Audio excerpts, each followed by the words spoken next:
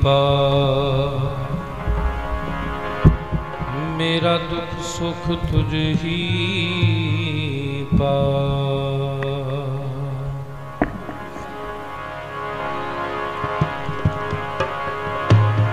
कबीर हो तन जाएगा,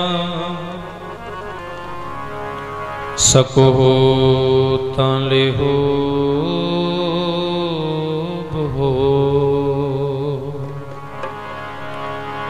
ਨੰਗੇ ਪਾਵੂ ਤੇ ਗਏ। ਜਿਨ ਕੇ ਲੱਖ ਕਰੋ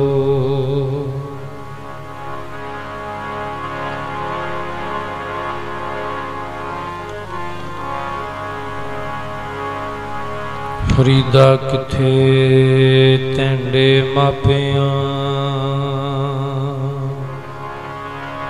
ਜਿੰਨੀ ਤੂੰ ਜਣਿਓ,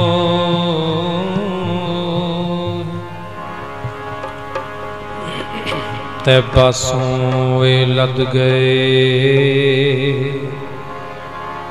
ਤੂੰ ਅਜੈ ਨਾ ਪਤੀ। ਚਲ ਚਲ ਗਈਆਂ ਪੰਖੀਆਂ ਜਿਨੀ ਵਸਾਏ ਤਲ ਸਰ ਭਰਿਆ ਪੀ ਚਲ ਸੀ। ਥਕੇ ਕਬਲ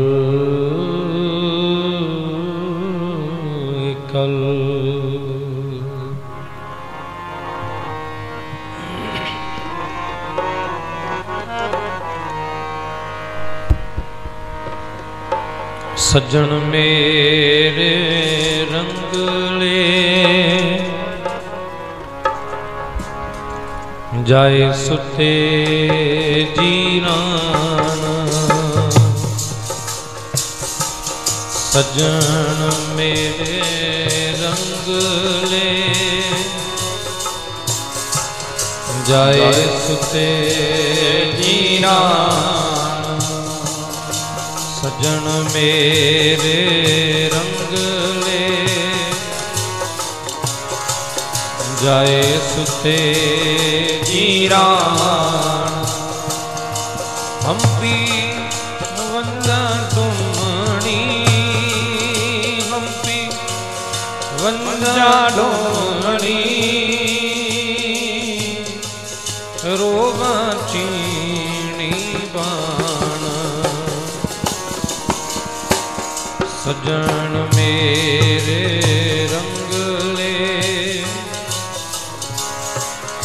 ਜਾਏ ਸੁਤੇ ਜੀਰਾਨ। ਸਜਣ ਮੇਰੇ ਰੰਗਲੇ ਜਾਏ ਸੁਤੇ ਜੀਰਾਨ।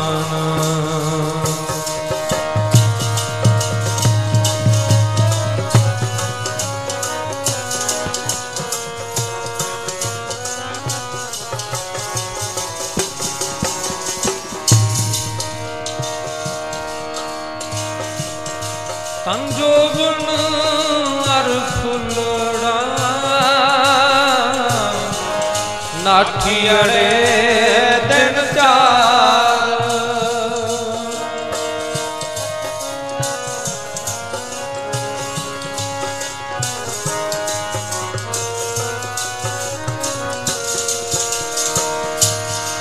ਪਬਣ ਕੇ ਰੇ ਪਤ ਜਿਉ ਹਲ ਢੁਲ ਜੁਮਣ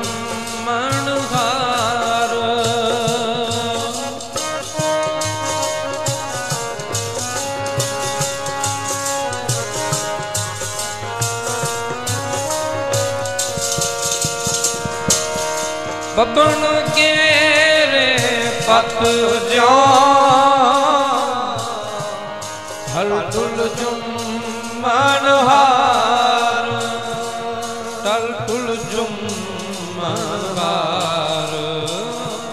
ਤਲ ਤੁਲ ਜੁਮਨ ਹਾਰ। ਸਜਣ ਮੇ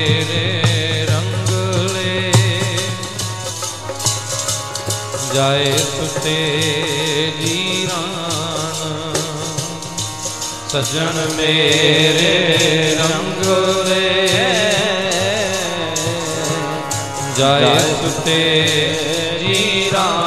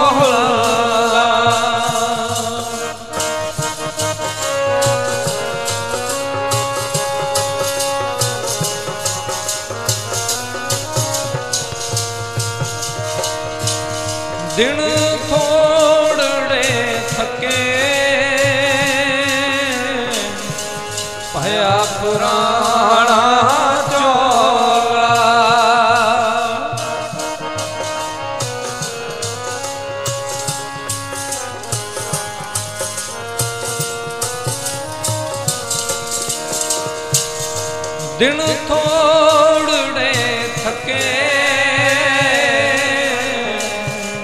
ਭਇਆ ਪੁਰਾਣ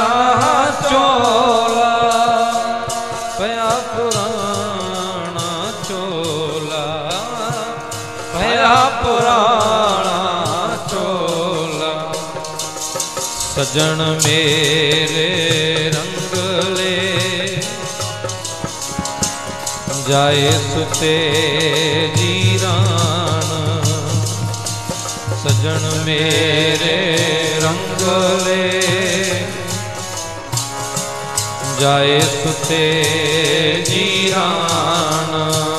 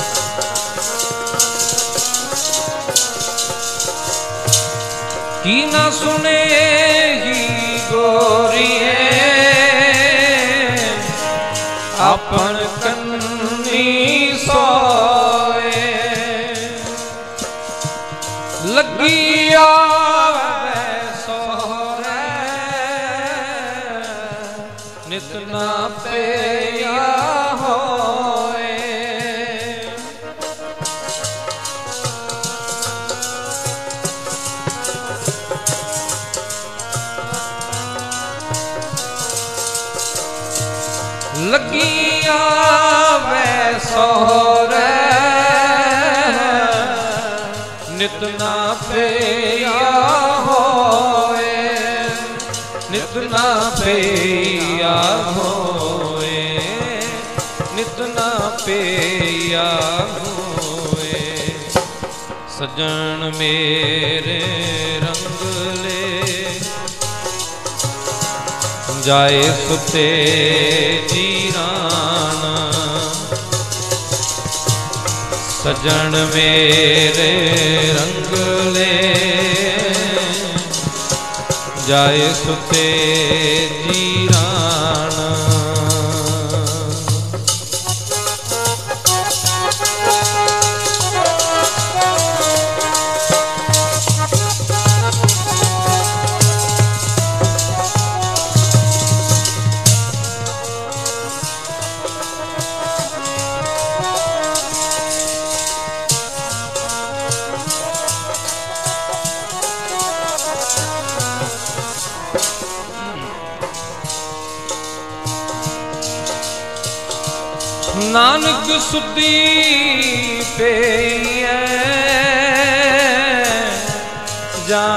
ਜਾਣ ਸੰਨ।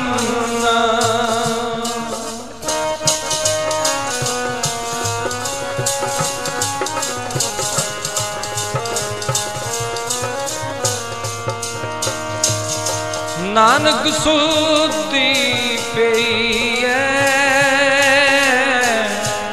ਜਾਨ ਬਿਰਤੀ ਸੰਨ।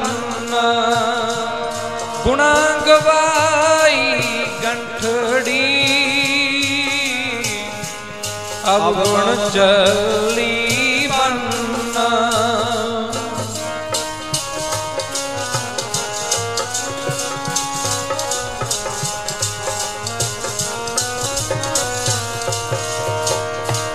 ਗੁਣਾ ਗਵਾਈ ਗੰਠੜੀ।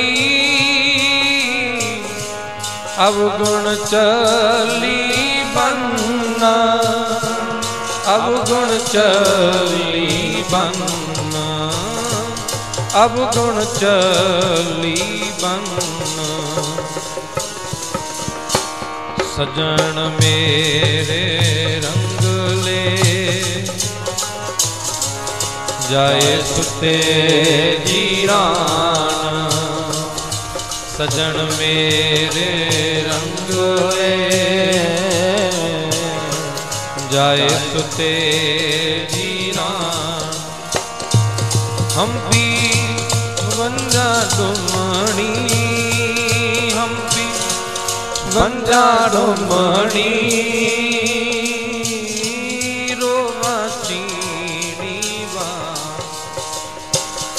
ਸਜਣ ਮੇਰੇ ਰੰਗ ਲੇ ਜਾਏ ਸੁਤੇ ਜੀਰਾਨ ਸਜਣ ਮੇਰੇ ਰੰਗ ਲੈ। ਜਾਏ ਸੁਤੇ ਜੀਰਾਨ ਜਾਏ ਸੁਤੇ ਜੀਰਾਨ ਜਾਏ ਸੁਤੇ ਜੀਰਾਨ ਜੀਰਾਨ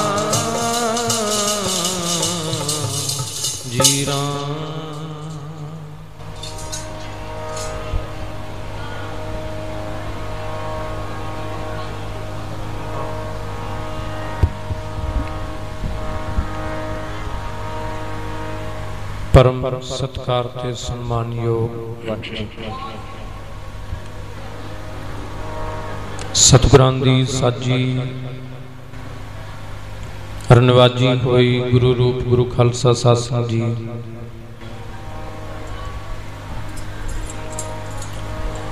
ਜਿਤਨੇ ਵੀ ਮਾਈ ਭਾਈ ਸਾਹਿਬ ਸ੍ਰੀ ਗੁਰੂ ਗ੍ਰੰਥ ਸਾਹਿਬ ਮਹਾਰਾਜ ਜੀਆਂ ਦੀ ਪਾਵਨ ਪਵਿੱਤਰ ਹਜ਼ੂਰੀ ਦੇ ਵਿੱਚ ਜੁੜ ਬੈਠੇ ਹੋ। ਸਤਿਗੁਰੂ ਜੀਆਂ ਦਾ ਪਾਵਨ ਵਚਨ, ਰਾਣਾ ਰਾਓ ਨਾ ਕੋਰ ਹੈ, ਰੰਗ ਨਾ ਤੁੰਗ ਫਕੀਰ। ਬਾਰੀ ਆਪੋ ਆਪਣੀ, ਕੋਈ ਨਾ ਵੰਦੈ ਧੀਰ ਦੇ ਮਹਾਵਾਕਾਂ ਅਨੁਸਾਰ।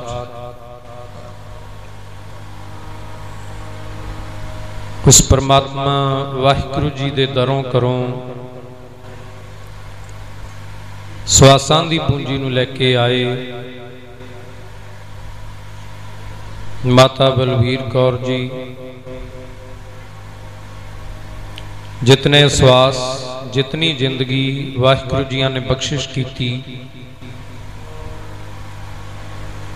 ਆਪਣੇ ਸਮੇਂ ਅਤੇ ਸਵਾਸਾਂ ਨੂੰ ਭੋਗਦਿਆਂ ਹੋਇਆਂ ਉਸ ਅਕਾਲ ਪੁਰਖ ਵਾਹਿਗੁਰੂ ਜੀ ਦੇ ਚਰਨਾਂ ਵਿੱਚ ਜਾ ਵਿਰਾਜੇ ਸਨ। ਅੱਜ ਅਸੀਂ ਸਮੂਹ, ਰਿਸ਼ਤੇਦਾਰ, ਦੋਸਤ, ਮਿੱਤਰ, ਨਗਰ ਨਿਵਾਸੀ ਮਿਲ ਜੁਲ ਕੇ ਉਸ ਵਿਛੜੀ ਆਤਮਾ ਦੀ ਅੰਤਮ ਅਰਦਾਸ ਵਿੱਚ ਸ਼ਾਮਲ ਹੋਣ ਵਾਸਤੇ ਆਏ ਹਾਂ। ਆਓ ਸਾਸਨ ਜੀ, ਜਿਤਨਾ ਸਮਾਂ ਸਤਿਗੁਰੂ ਜੀ ਸਾਨੂੰ ਬਖਸ਼ਿਸ਼ ਕਰਨ। ਉਤਨਾ ਸਮਾਂ ਮਨ ਵਿਰਤੀਆਂ ਸੁਰਤੀਆਂ ਇਕਾਗਰ ਕਰਕੇ ਗੁਰਬਾਣੀ ਕੀਰਤਨ ਹਰ ਜਸ ਆਨੰਦ ਮਾਣੀਏ। ਤੇ ਇੱਥੇ ਸਤਿਗੁਰੂ ਜੀ ਸਾਡੇ ਜੀਵਨ ਦੀ ਗੱਲ ਕਰਦੇ ਨੇ, ਸਾਡਾ ਜੀਵਨ ਕੀ ਹੈ, ਜ਼ਿੰਦਗੀ ਕੀ ਹੈ, ਤੇ ਇਸ ਜੀਵਨ ਨੂੰ ਜਿਉਣਾ ਕਿਵੇਂ ਹੈ?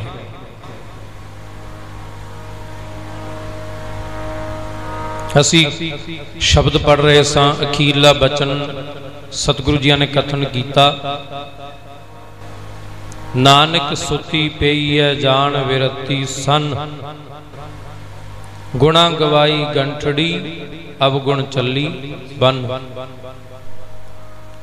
ਕਈ ਵਾਰ ਸਾਡੇ ਨਾਲ ਇਹ ਹੁੰਦਾ ਹੈ ਜਿਹੜੀ ਗੁਣਾਂ ਦੀ ਗਠੜੀ ਅਸੀਂ ਭਾਵ ਸਵਾਸਾਂ ਦੀ ਗਠੜੀ ਜਿਹੜੀ ਲੈ ਕੇ ਆਏ ਸੀ ਨਾ, ਉਹ ਗਵਾ ਕੇ ਚਲੇ ਗਏ। ਤੇ ਅਸੀਂ ਪੱਲੇ ਬੰਨ ਕੇ ਲੈ ਕੇ ਕੀ ਗਏ, ਖੱਟ ਕੇ ਕੀ ਲਗਾਏ? ਮਹਾਰਾਜ ਕਹਿੰਦੇ, ਅਵਗੁਣ ਚੱਲੀ ਬੰਨ ਔਗਣੀ ਔਗਣ ਬੰਨ ਕੇ ਲੈ ਗਏ ਪੱਲੇ ਅਸੀਂ। ਸਤਿਗੁਰੂ ਜੀ, ਇਹ ਜੀਵਨ ਜਿਉਣ ਦੀ ਜਾਂਚ, ਜ਼ਿੰਦਗੀ ਜਿਉਣ ਦੀ ਜਾਂਚ ਸਾਨੂੰ ਦੱਸਦੇ ਨੇ ਕਿਵੇਂ ਇਹ ਜੀਵਨ ਜਿਉਣਾ ਹੈ। ਮੈਂ ਬੜੇ ਵਾਰੀ ਬੇਨਤੀ ਕੀਤੀ ਹੈ, ਸਾਰੀ ਜ਼ਿੰਦਗੀ ਮਨੁੱਖ ਦੂਸਰਿਆਂ ਦੇ ਜੀਵਨ ਨੂੰ ਵੇਖਦਿਆਂ ਲੰਘਾ ਦਿੰਦਾ ਹੈ। ਫਲਾਨਾ ਇਉਂ ਕਰਦਾ ਹੈ, ਫਲਾਨਾ ਇਉਂ ਕਰਦਾ ਹੈ। ਬੰਦਾ ਕਹਿੰਦਾ, ਉਹ ਉਹ ਉਹ ਬੜਾ ਬੰਦਾ ਪਾਪੀ ਹੈ, ਉਹ ਤੇ ਬੜਾ ਬੰਦਾ ਗੁਨਾਹੀ ਹੈ, ਇਉਂ ਕਰਦਿਆਂ ਸਾਰੀ ਜ਼ਿੰਦਗੀ ਲੰਘਾ ਦਿੰਦਾ ਹੈ। ਤੇ ਸਾਧ ਜੀ ਸਤਿਗੁਰੂ ਜੀ ਕਹਿੰਦੇ, ਤੂੰ ਕਿਸੇ ਦੇ ਜੀਵਨ ਵੱਲ ਨਾ ਵੇਖ, ਕਿਸੇ ਦੀ ਜ਼ਿੰਦਗੀ ਵੱਲ ਨਾ ਵੇਖ। ਉਹ ਜਿਵੇਂ ਜਿਉ ਰਿਹਾ, ਜਿਉਏਗਾ। ਤੂੰ ਆਪਣੇ ਜੀਵਨ ਵੱਲ ਵੇਖ। ਤੇਰਾ ਜੀਵਨ ਕਿੱਧਰ ਨੂੰ ਜਾ ਰਿਹਾ ਹੈ? ਤੇਰੀ ਜ਼ਿੰਦਗੀ ਕਿੱਧਰ ਨੂੰ ਜਾ ਰਹੀ ਹੈ? ਜਿਹੜੀ ਤੂੰ ਗੁਣਾਂ ਦੀ ਗੰਠੜੀ ਲੈ ਕੇ ਇੱਥੇ ਸੰਸਾਰ ਵਿੱਚ ਆਇਆ ਹੈ, ਉਹਨੂੰ ਸੰਭਾਲ ਕੇ ਰੱਖਿਆ ਵੀ ਹੈ ਕਿ ਨਹੀਂ ਰੱਖਿਆ ਤੇ? ਇਹ ਗੱਲ ਬੜੀ ਧਿਆਨ ਗੋਚਰੇ ਹੈ। ਆਓ, ਸਤਿਗੁਰੂ ਜੀ ਸਾਡੇ ਜੀਵਨ ਦੀ ਗੱਲ ਕਰਦੇ ਨੇ, ਸਾਡੀ ਜ਼ਿੰਦਗੀ ਦੀ ਗੱਲ ਕਰਦੇ ਨੇ। ਇੱਥੇ ਸਮਝਣ ਦਾ ਯਤਨ ਕਰੀਏ, ਸਮਝਣ ਦੀ ਕੋਸ਼ਿਸ਼ ਕਰੀਏ ਆਪਾਂ। ਮੈਂ ਪਹਿਲਾਂ ਹੀ ਇਹ ਬੇਨਤੀ ਕਰਦੇ ਆਂ ਜਿੰਨਾ ਕੁ ਸਮਾਂ ਆਪਾਂ ਇੱਥੇ ਬੈਠੀਏ ਦਰਬਾਰ ਸਾਹਿਬ ਦੇ ਵਿੱਚ, ਉਹਨਾਂ ਕੁ ਸਮਾਂ ਕਿਰਪਾ ਕਰਕੇ ਭਾਈ ਰੌਲੇ ਤੋਂ ਗੁਰੇਜ਼ ਕਰਿਓ, ਗੱਲਾਂ ਤੋਂ ਗੁਰੇਜ਼ ਕਰਿਓ। ਕਿਉਂਕਿ ਇੱਕ ਦਾ ਧਿਆਨ ਜੁੜਨ ਲੱਗਦਾ ਹੈ। ਅਸੀਂ ਕਈ ਵਾਰ ਗੱਲਾਂ ਕਰਨ ਲੱਗ ਪਏ, ਰੌਲਾ ਪਾਉਣ ਲੱਗ ਪਏ, ਅਸੀਂ ਉਹਦਾ ਜੁੜਦੇ ਦਾ ਵੀ ਧਿਆਨ ਤੋੜ ਦਿੱਤਾ। ਅੱਖਾਂ ਬੰਦ ਕਰਕੇ ਅਸੀਂ ਸਤਿਗੁਰੂ ਜੀਆਂ ਦੇ ਬਚਨ ਸੁਣੀਏ। ਅੱਖਾਂ ਬੰਦ ਕਰਕੇ ਅਸੀਂ ਸਤਿਗੁਰੂ ਜੀਆਂ ਦੇ ਬਚਨ ਆਪਣੇ ਅੰਦਰ ਉਤਾਰਨ ਦਾ ਯਤਨ ਕਰੀਏ। ਜਿਹੜੇ ਬਚਨ ਅਸੀਂ ਸੁਣਾਂਗੇ, ਸਾਨੂੰ ਲੱਗੇਗਾ ਵੀ ਇਹ ਤੇ ਸਾਨੂੰ ਕਹਿ ਰਹੇ ਨੇ ਸਤਿਗੁਰੂ ਜੀ। ਇਹ ਬਚਨ ਮੈਨੂੰ ਕਹਿ ਰਹੇ ਨੇ, ਸਤਿਗੁਰੂ ਜੀ, ਕਿਸੇ ਵਾਸਤੇ ਨਹੀਂ ਇਹ ਬਚਨ ਕਹੇ, ਇਹ ਤੇ ਮੇਰੇ ਲਈ ਕਹੇ ਨੇ। ਜੀਵਨ ਜਿਉਣਾ ਕਿਵੇਂ ਆ, ਜ਼ਿੰਦਗੀ ਜਿਉਣੀ ਕਿਵੇਂ ਆ, ਸਤਿਗੁਰੂ ਜੀ ਇੱਥੇ ਜਾਂਚ ਦੱਸਦੇ ਨੇ। ਮਾਤਾ ਬਲਵੀਰ ਕੌਰ ਜੀਆਂ ਦੇ ਭੋਗ ਤੇ ਆਏ ਆ, ਇੱਥੇ ਆਉਣ ਦਾ ਮਤਲਬ ਇਹ ਨਹੀਂ ਆਪਾਂ ਕੁਝ ਸਮਾਂ ਆਏ ਤੇ ਗੱਲਾਂ ਕਰਕੇ ਵਾਪਸ ਚਲੇ ਗਏ। ਸਤਿਗੁਰੂ ਜੀ ਕਹਿੰਦੇ, ਜੋ ਆਇਆ ਸੋ ਚੱਲ ਸੀ, ਸਭ ਕੋਈ ਆਈ। ਬਾਰੀ ਹੈ। ਜਿਹੜਾ ਪ੍ਰਾਣੀ ਸੰਸਾਰ ਵਿੱਚ ਆਇਆ, ਬਾਰੀ ਅਨੁਸਾਰ ਚਲਿਆ ਗਿਆ, ਉਹ ਆਪਣੇ ਜ਼ਿੰਦਗੀ, ਆਪਣੇ ਕਰਮ ਭੋਗ ਗਿਆ। ਜਿਹੋ ਜੇ ਕਰਮ ਕੀਤੇ ਸੀ, ਉਹਨੇ ਉਹ ਆਪਣਾ ਲੇਖਾ ਜੋਖਾ ਲੈ ਕੇ ਚਲਿਆ ਗਿਆ। ਤੇ ਸਤਿਗੁਰੂ ਜੀ ਕਹਿੰਦੇ ਨੇ, ਜਿਸ ਕੇ ਜੀ ਪ੍ਰਾਣ ਹੈ, ਕਿਉ ਸਾਹਿਬ ਮਨੋ ਵਿਸਾਰੀ ਜਿਨ੍ਹਾਂ ਸਰੀਰਾਂ ਵਿੱਚ ਅਜੇ ਤੱਕ ਪ੍ਰਾਣ ਨੇ, ਜਿਨ੍ਹਾਂ ਸਰੀਰਾਂ ਵਿੱਚ ਅਜੇ ਤੱਕ ਸਵਾਸ ਨੇ, ਅਸੀਂ ਕਿਉਂ ਪਰਮਾਤਮਾ ਨੂੰ ਵਿਸਾਰਿਆ ਹੋਇਆ? ਹੈ ਆਓ, ਇਹ ਸਮਝਣ ਦਾ ਯਤਨ ਕਰੀਏ, ਜ਼ਿੰਦਗੀ ਕੀ ਹੈ, ਜੀਵਨ ਕੀ ਹੈ, ਤੇ ਅਸੀਂ ਇਹਨੂੰ ਕਿੱਦਾਂ ਜਿਉ ਰਹੇ ਹਾਂ? ਆਓ, ਸਭ ਤੋਂ ਪਹਿਲਾਂ ਸਤਿਗੁਰੂ ਜੀਆਂ ਦੀ ਬਖਸ਼ਿਸ਼ ਕੀਤੀ ਹੋਈ ਗੁਰਫਤਿਹ ਦੀ ਸਾਂਝ ਪਾਓ। ਸਰਬੱਤ ਮਾਈ ਭਾਈ, ਇੱਕ ਵਾਰੀ ਰਸਨਾ ਨੂੰ ਕਰੋ ਪਵਿੱਤਰ। ਆਪਣੀਆਂ ਹਾਜ਼ਰੀਆਂ ਸਤਿਗੁਰਾਂ ਦੇ ਚਰਨਾਂ ਵਿੱਚ ਲਵਾਓ। ਗੱਜ ਵੱਜ ਕੇ ਬੁਲਾਓ, ਫਤਿਹ ਆਖੋ ਜੀ, ਵਾਹਿਗੁਰੂ ਜੀ ਕਾ ਖਾਲਸਾ, ਵਾਹਿਗੁਰੂ ਜੀ ਕੀ ਫਤਿਹ। ਸਤਿਗੁਰੂ ਜੀਆਂ ਦਾ ਪਾਵਨ ਫਰਮਾਨ ਹੈ, ਕਿਆ ਜਾਣਾ ਕਿ ਮਰਹੇਂਗੇ, ਕੈਸਾ ਮਰਨਾ ਹੋਏ। ਇਹ ਸਾਡੇ ਵਿੱਚੋਂ ਕਿਸੇ ਨੂੰ ਨਹੀਂ ਪਤਾ। ਕਿਆ ਜਾਣਾ, ਕਿਵੇਂ ਮਰਾਂਗੇ, ਕਿਵੇਂ ਮਰਨਾ ਹੈ ਤੇ ਕੈਸੀ ਮੌਤ ਆਉਣੀ ਹੈ, ਇਹ ਕਿਸੇ ਨੂੰ ਵੀ ਨਹੀਂ ਪਤਾ। ਪਰਮਾਤਮਾ ਨੇ ਇਹ ਇੱਕ ਗੁੰਝਲਦਾਰ ਸਵਾਲ ਰੱਖਿਆ ਸਾਡੇ ਲਈ। ਜਿਹਦਾ ਹੱਲ ਸਾਰੀ ਜ਼ਿੰਦਗੀ ਮਨੁੱਖ ਲੱਭਦਾ ਲੱਭਦਾ ਚਲਿਆ ਜਾਂਦਾ, ਪਰ ਇਹਦਾ ਹੱਲ ਨਹੀਂ ਲੱਭਦਾ। ਇਹ ਗੁੰਝਲਦਾਰ ਸਵਾਲ ਹੈ ਜੀ। ਜਿਹਦਾ ਹੱਲ ਹੀ ਕੋਈ ਨਹੀਂ। ਇਹਦਾ ਪਤਾ ਹੀ ਕੋਈ ਨਹੀਂ ਲੱਗਦਾ, ਇਹਦਾ ਹੱਲ, ਇਹਦਾ ਸਵਾਲ ਦਾ ਸਾਸੰਗ ਜੀ ਸੋਲੂਸ਼ਨ ਹੀ ਕੋਈ ਨਹੀਂ ਨਿਕਲਦਾ। ਸਾਰੀ ਜ਼ਿੰਦਗੀ ਮਨੁੱਖੇ ਖੋਜਦੇ ਖੋਜਦੇ ਲੰਘਾ ਦਿੰਦਾ ਵੀ ਮੌਤ ਕਦੋਂ ਆਏਗੀ, ਕਿਵੇਂ ਆਏਗੀ। ਪਰ ਇਹਦਾ ਪਤਾ ਨਹੀਂ ਲੱਗਦਾ, ਕਿਆ ਜਾਣਾ, ਕਿ ਮਰਾਂਗੇ ਕੈਸਾ ਮਰਨਾ ਹੋਏ ਕਿਉਂ ਜੀ ਮੌਤ ਆਏਗੀ। ਸਤਿਗੁਰੂ ਜੀ ਕਹਿੰਦੇ ਨੇ, ਜੇਕਰ ਸਾਹਿਬ ਮਨਹੁ ਨਾ ਵੀਸਰੈ ਤਾਂ ਸਹਿਲਾ ਮਰਨਾ ਹੋਏ। ਜੇ ਪ੍ਰਮਾਤਮਾ ਤੇਰੇ ਮਨ ਵਿੱਚੋਂ ਵਿਸਰਦਾ ਨਹੀਂ, ਪ੍ਰਮਾਤਮਾ ਤੇਰੇ ਮਨ ਵਿੱਚੋਂ ਨਿਕਲਦਾ ਨਹੀਂ, ਫਿਰ ਤੇਰੀ ਜਿਹੜੀ ਮੌਤ ਹੈ ਸੁਖੱਲੀ ਹੋ ਜਾਏਗੀ, ਸੁਖੱਲੀ। ਸੁਖੱਲੀ ਦਾ ਅਰਥ ਇਹ ਹੈ, ਅੱਜ ਤੇ ਮਨੁੱਖ ਪਲ ਪਲ ਤੇ ਮਰਦਾ ਛਿਨ ਛਿਨ ਤੇ ਮਰਦਾ ਹਰ ਦਮ ਮਰਦਾ ਮਨੁੱਖ। ਬੜੇ ਬੜੀ ਮੈਂ ਬੇਨਤੀ ਕੀਤੀ ਹੈ, ਅਸੀਂ ਤੇ ਇੱਕ ਮੌਤ ਦੀ ਗੱਲ ਕਰਦੇ ਆਂ ਸਤਿਗੁਰੂ ਜੀ ਕਹਿੰਦੇ ਹਰ ਰੋਜ਼ ਮੌਤ ਹੁੰਦੀ ਹੈ। ਅਸੀਂ ਇੱਕ ਜ਼ਿੰਦਗੀ ਦੀ ਗੱਲ ਕਰਦੇ ਆਂ ਸਤਿਗੁਰੂ ਜੀ ਕਹਿੰਦੇ, ਹਰ ਰੋਜ਼ ਮਨੁੱਖ ਨਵੀਂ ਜ਼ਿੰਦਗੀ ਲੈਂਦਾ ਹੈ, ਨਵੀਂ ਜ਼ਿੰਦਗੀ। ਕੱਲ ਮਨੁੱਖ ਸੁੱਤਾ, ਸੌਣ ਵੇਲੇ ਇਹਦੇ ਵਿਚਾਰ ਕੁਝ ਹੋਰ ਸਨ। ਇਹ ਸੌਣ ਵੇਲੇ ਆਪਣੇ ਮਨ ਵਿੱਚ ਬੜੇ ਪਾਪ ਲੈ ਕੇ ਸੁੱਤਾ, ਬੜੇ ਭੈੜੇ ਵਿਚਾਰ ਲੈ ਕੇ ਸੁੱਤਾ। ਉਦੋਂ ਸਾਸੰਗ ਜੀ ਇਸ ਕੱਲਾ ਸੁੱਤਾ ਹੀ ਨਹੀਂ, ਇਹਦੀ ਮੌਤ ਹੋ ਗਈ। ਸਵੇਰੇ ਜਦੋਂ ਇਹ ਜਾਗਿਆ, ਇਹਨੇ ਆਖਿਆ, ਮਨਾ, ਰਾਤੀ ਤੇ ਬੜੇ ਭੈੜੇ ਭੈੜੇ ਖਿਆਲ ਸੋਚੇ। ਪਰ ਕੀ ਪਤਾ ਪ੍ਰਮਾਤਮਾ ਨੇ 4 ਦਿਨਾਂ ਦੀ ਜ਼ਿੰਦਗੀ ਦਿੱਤੀ ਹੈ ਇਹਦੇ ਵਿੱਚ ਕਿਸੇ ਦਾ ਬੁਰਾ ਨਾ ਕਰੀਏ, ਕਿਸੇ ਦਾ ਮਾੜਾ ਨਾ ਕਰੀਏ। ਇਹ ਨਵਾਂ ਵਿਚਾਰ ਜਨਮਿਆ ਮਨੁੱਖ ਦਾ ਨਵਾਂ ਜਨਮ ਹੋਇਆ। ਮਨੁੱਖ ਨੇ ਨਵਾਂ ਜਨਮ ਧਾਰਨ ਕੀਤਾ। ਤੇ ਸਾਸੰਗ ਜੀ ਫੇਰ ਘੰਟਾ 2 ਘੰਟੇ ਲੰਘੇ, ਜਦੋਂ ਆ ਦੁਨੀਆਦਾਰੀ ਵਿੱਚ ਮਨੁੱਖ ਗਿਆ, ਫਿਰ ਉਹੀ ਗੱਲਾਂ ਆ ਗਈਆਂ। ਫਿਰ ਕਿਤੇ ਨਾ ਕਿਤੇ ਇਹਨੇ ਆਪਣੇ ਆਪੇ ਨੂੰ ਮਾਰ ਦਿੱਤਾ। ਕਿਤੇ ਨਾ ਕਿਤੇ ਆਪਣੇ ਜੀਵਨ ਨੂੰ ਮਾਰ ਦਿੱਤਾ। ਫਿਰ ਇਹਦੀ ਮੌਤ ਹੋਈ। ਬੜੇ ਵਾਰੀ ਆਪਾਂ ਇੱਕ ਵਿਚਾਰ ਸੁਣਦੇ ਆ ਰਹੇ ਹਾਂ। ਅਸੀਂ ਕਿਹਾ ਜੀ, ਮਨੁੱਖ ਜਦੋਂ ਮਰ ਜਾਂਦਾ ਹੈ, ਵੈਸੇ ਤੇ ਸਤਿਗੁਰੂ ਜੀਆਂ ਨੇ ਗੱਲ ਹੀ ਮੁਕਾ ਦਿੱਤੀ। ਇਹ ਹਿੰਦੂ ਮਿਥਿਹਾਸ ਦੇ ਵਿੱਚ ਇਹ ਬੜਾ ਕੁਝ ਲਿਖਿਆ ਸੀ ਇਹ ਗੱਲਾਂ। ਉਹਦੇ ਵਿੱਚ ਲਿਖਿਆ ਸੀ ਜਿਹ ਮਾਰਗ ਕੇ ਗਣੇ ਜਾਹੇ ਨਾ ਕੋਸਾ ਹਰ ਕਾ ਨਾਮ ਉਹਾਂ ਸੰਗ ਤੋਸਾ। ਮਹਾਰਾਜ ਸਾਹਿਬ ਜੀਆਂ ਨੇ ਤੇ ਕਿਹਾ ਜਿਹੜੇ ਮਾਰਗ ਦੇ ਕੋ ਨਹੀਂ ਗਿਣੇ ਜਾ ਸਕਦੇ ਬਾਟ ਨਹੀਂ ਗਿਣੀ ਜਾ ਸਕਦੀ ਜਿਸ ਮਾਰਗ ਦੀ। ਹਰ ਕਾ ਨਾਮ ਉਹਾਂ ਸੰਗ ਤੋਸਾ। ਤੇ ਸਾਨੂੰ ਇਹ ਸਿਖਾਇਆ ਗਿਆ ਸਦੀਆਂ ਤੋਂ ਕਹਿੰਦੇ ਜੀ, ਪ੍ਰਮਾਤਮਾ ਦਾ ਵਾਹਿਗੁਰੂ ਦਾ ਨਾਮ ਜਪੋ, ਇੱਥੇ ਦਾਨ ਪੁੰਨ ਕਰੋ। ਜੇ ਦਾਨ ਪੁੰਨ ਕੀਤਾ ਹੋਏਗਾ, ਜਦੋਂ ਮਨੁੱਖ ਆਪਣਾ ਸਰੀਰ ਤਿਆਗਦਾ, ਜਦੋਂ ਮਨੁੱਖ ਆਪਣਾ ਸਰੀਰ ਛੱਡਦਾ ਹੈ, ਤੇ ਇਹ ਜਦੋਂ ਫਿਰ ਇਹ ਜਾਂਦਾ ਹੈ ਨਾ, ਦਰਗਾਹ ਵੱਲ ਨੂੰ ਜਾਂਦਾ ਹੈ। ਕਹਿੰਦੇ ਕਈ ਦਿਨ ਲੱਗ ਜਾਂਦੇ ਨੇ, ਕਿਸੇ ਨੇ ਲਿਖਿਆ ਕਈ ਮਹੀਨੇ ਲੱਗ ਜਾਂਦੇ ਨੇ। ਮਹਾਰਾਜ ਸਾਹਿਬ ਜੀ ਕਹਿੰਦੇ, ਕਿਆ ਜਾਣਾ ਕਿ ਮਰਾਂਗੇ। ਪਤਾ ਹੀ ਨਹੀਂ।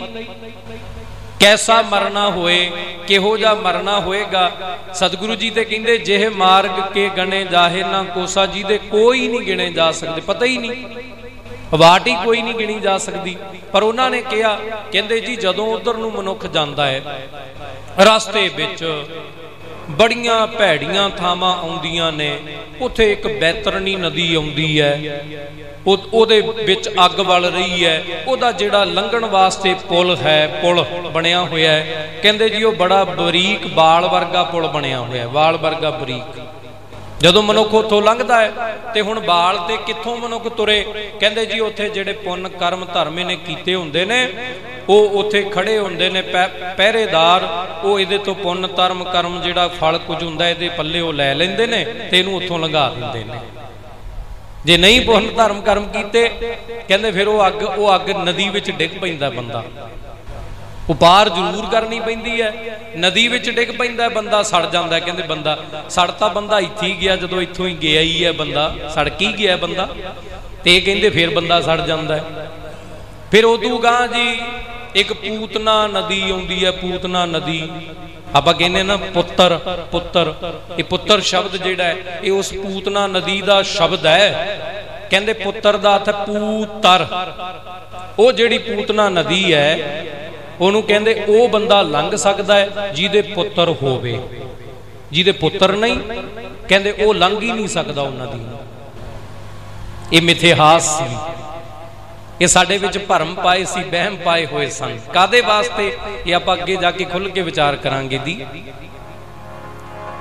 ਤੇ ਇਹਨਾਂ ਨੇ ਕਿਹਾ, ਅੱਗੇ ਜਦੋਂ ਬੰਦਾ ਦਰਗਾਹ ਵਿੱਚ ਚਲਿਆ ਜਾਂਦਾ ਹੈ, ਉੱਥੇ ਫਿਰ ਲੇਖਾ ਜੋਖਾ ਹੁੰਦਾ ਹੈ। ਬੰਦੇ ਨੇ ਜੇ ਪਾਪ ਕੀਤੇ ਨੇ, ਬੰਦੇ ਨੂੰ ਫਿਰ ਅੱਗ ਵਿੱਚ ਸਾੜਿਆ ਜਾਂਦਾ ਮੈਂ ਸਮਝਦਾ ਵੀ ਬੰਦੇ ਨੂੰ ਕਿੰਨੇ ਕੁ ਵਾਰੀ ਸਾੜਿਆ ਜਾਂਦਾ ਹੈ। ਉਹ ਅੱਗ ਤੋਂ ਬੰਦਾ ਡਰਦਾ ਮਾਰਾ ਇੱਥੇ ਛੋਟੇ ਛੋਟੇ ਪੁੰਨ, ਧਰਮ, ਕਰਮ ਕਰੀ ਜਾਂਦਾ ਹੈ। ਭਾਵੇਂ ਉਹ ਕਰਮ, ਧਰਮ ਜਿਹੜੇ ਕਰਦਾ ਬੰਦਾ ਕਿਸੇ ਦੇ ਗਲ ਵੱਢ ਕੇ ਕਰੇ। ਠੱਗੀਆਂ ਮਾਰ ਕੇ ਕਰੇ। ਬੰਦਾ ਕਹਿੰਦਾ ਵੀ ਇੱਕ ਪਾਸੇ ਠੱਗੀ ਮਾਰ ਲਵਾਂਗੇ, ਪਰ ਦੂਜੇ ਪਾਸੇ ਆਪਾਂ ਥੋੜਾ ਜਿਹਾ ਦਾਨ ਦੇ ਦੇਾਂਗੇ ਕੰਮ ਬਰਾਬਰੀ ਹੋ ਜਾਏਗਾ ਇਹ ਸਾਰੇ ਭਰਮ ਜਿਹੜੇ ਸੀ, ਸਾਡੇ ਵਿੱਚ ਪਾਏ ਹੋਏ ਸਨ। ਕਹਿੰਦੇ ਜੀ ਬੰਦਾ ਫਿਰ ਸੜ ਜਾਂਦਾ ਹੈ। ਖਿਮਾ ਕਰਿਓ, ਬੰਦਾ ਤਾਂ ਬਹੁਤ ਵਾਰੀ ਸੜਦਾ ਹੈ। ਮੇਰੇ ਸਤਿਗੁਰੂ ਜੀ ਕਹਿੰਦੇ ਨੇ, ਬੰਦਾ ਤਾਂ ਬਹੁਤ ਵਾਰੀ ਮਰਦਾ ਇੱਥੇ ਇੱਥੇ ਹਰ ਰੋਜ਼ ਜੰਮਦਾ ਹੈ, ਹਰ ਰੋਜ਼ ਮਰਦਾ ਹੈ। ਸਤਿਗੁਰੂ ਜੀ ਦੇ ਇੱਥੋਂ ਤੱਕ ਕਹਿੰਦੇ ਨੇ, ਆਖਾਂ ਜੀਵਾਂ ਬਿਸਰੈ ਮਰ ਜਾਂ ਜੇ ਤਾਂ ਪ੍ਰਮਾਤਮਾ ਮੈਂ ਜਪਦਾ, ਮੈਂ ਧਿਆਉਣਾ ਫਿਰ ਤੇ ਮੈਂ ਜਿਉਂਦਾ। ਜੇ ਮੈਂ ਪ੍ਰਮਾਤਮਾ ਨੂੰ ਭੁੱਲ ਜਾਣਾ ਟੁੱਟ ਜਾਣਾ ਫਿਰ ਮੈਂ ਮਰ ਜਾਣਾ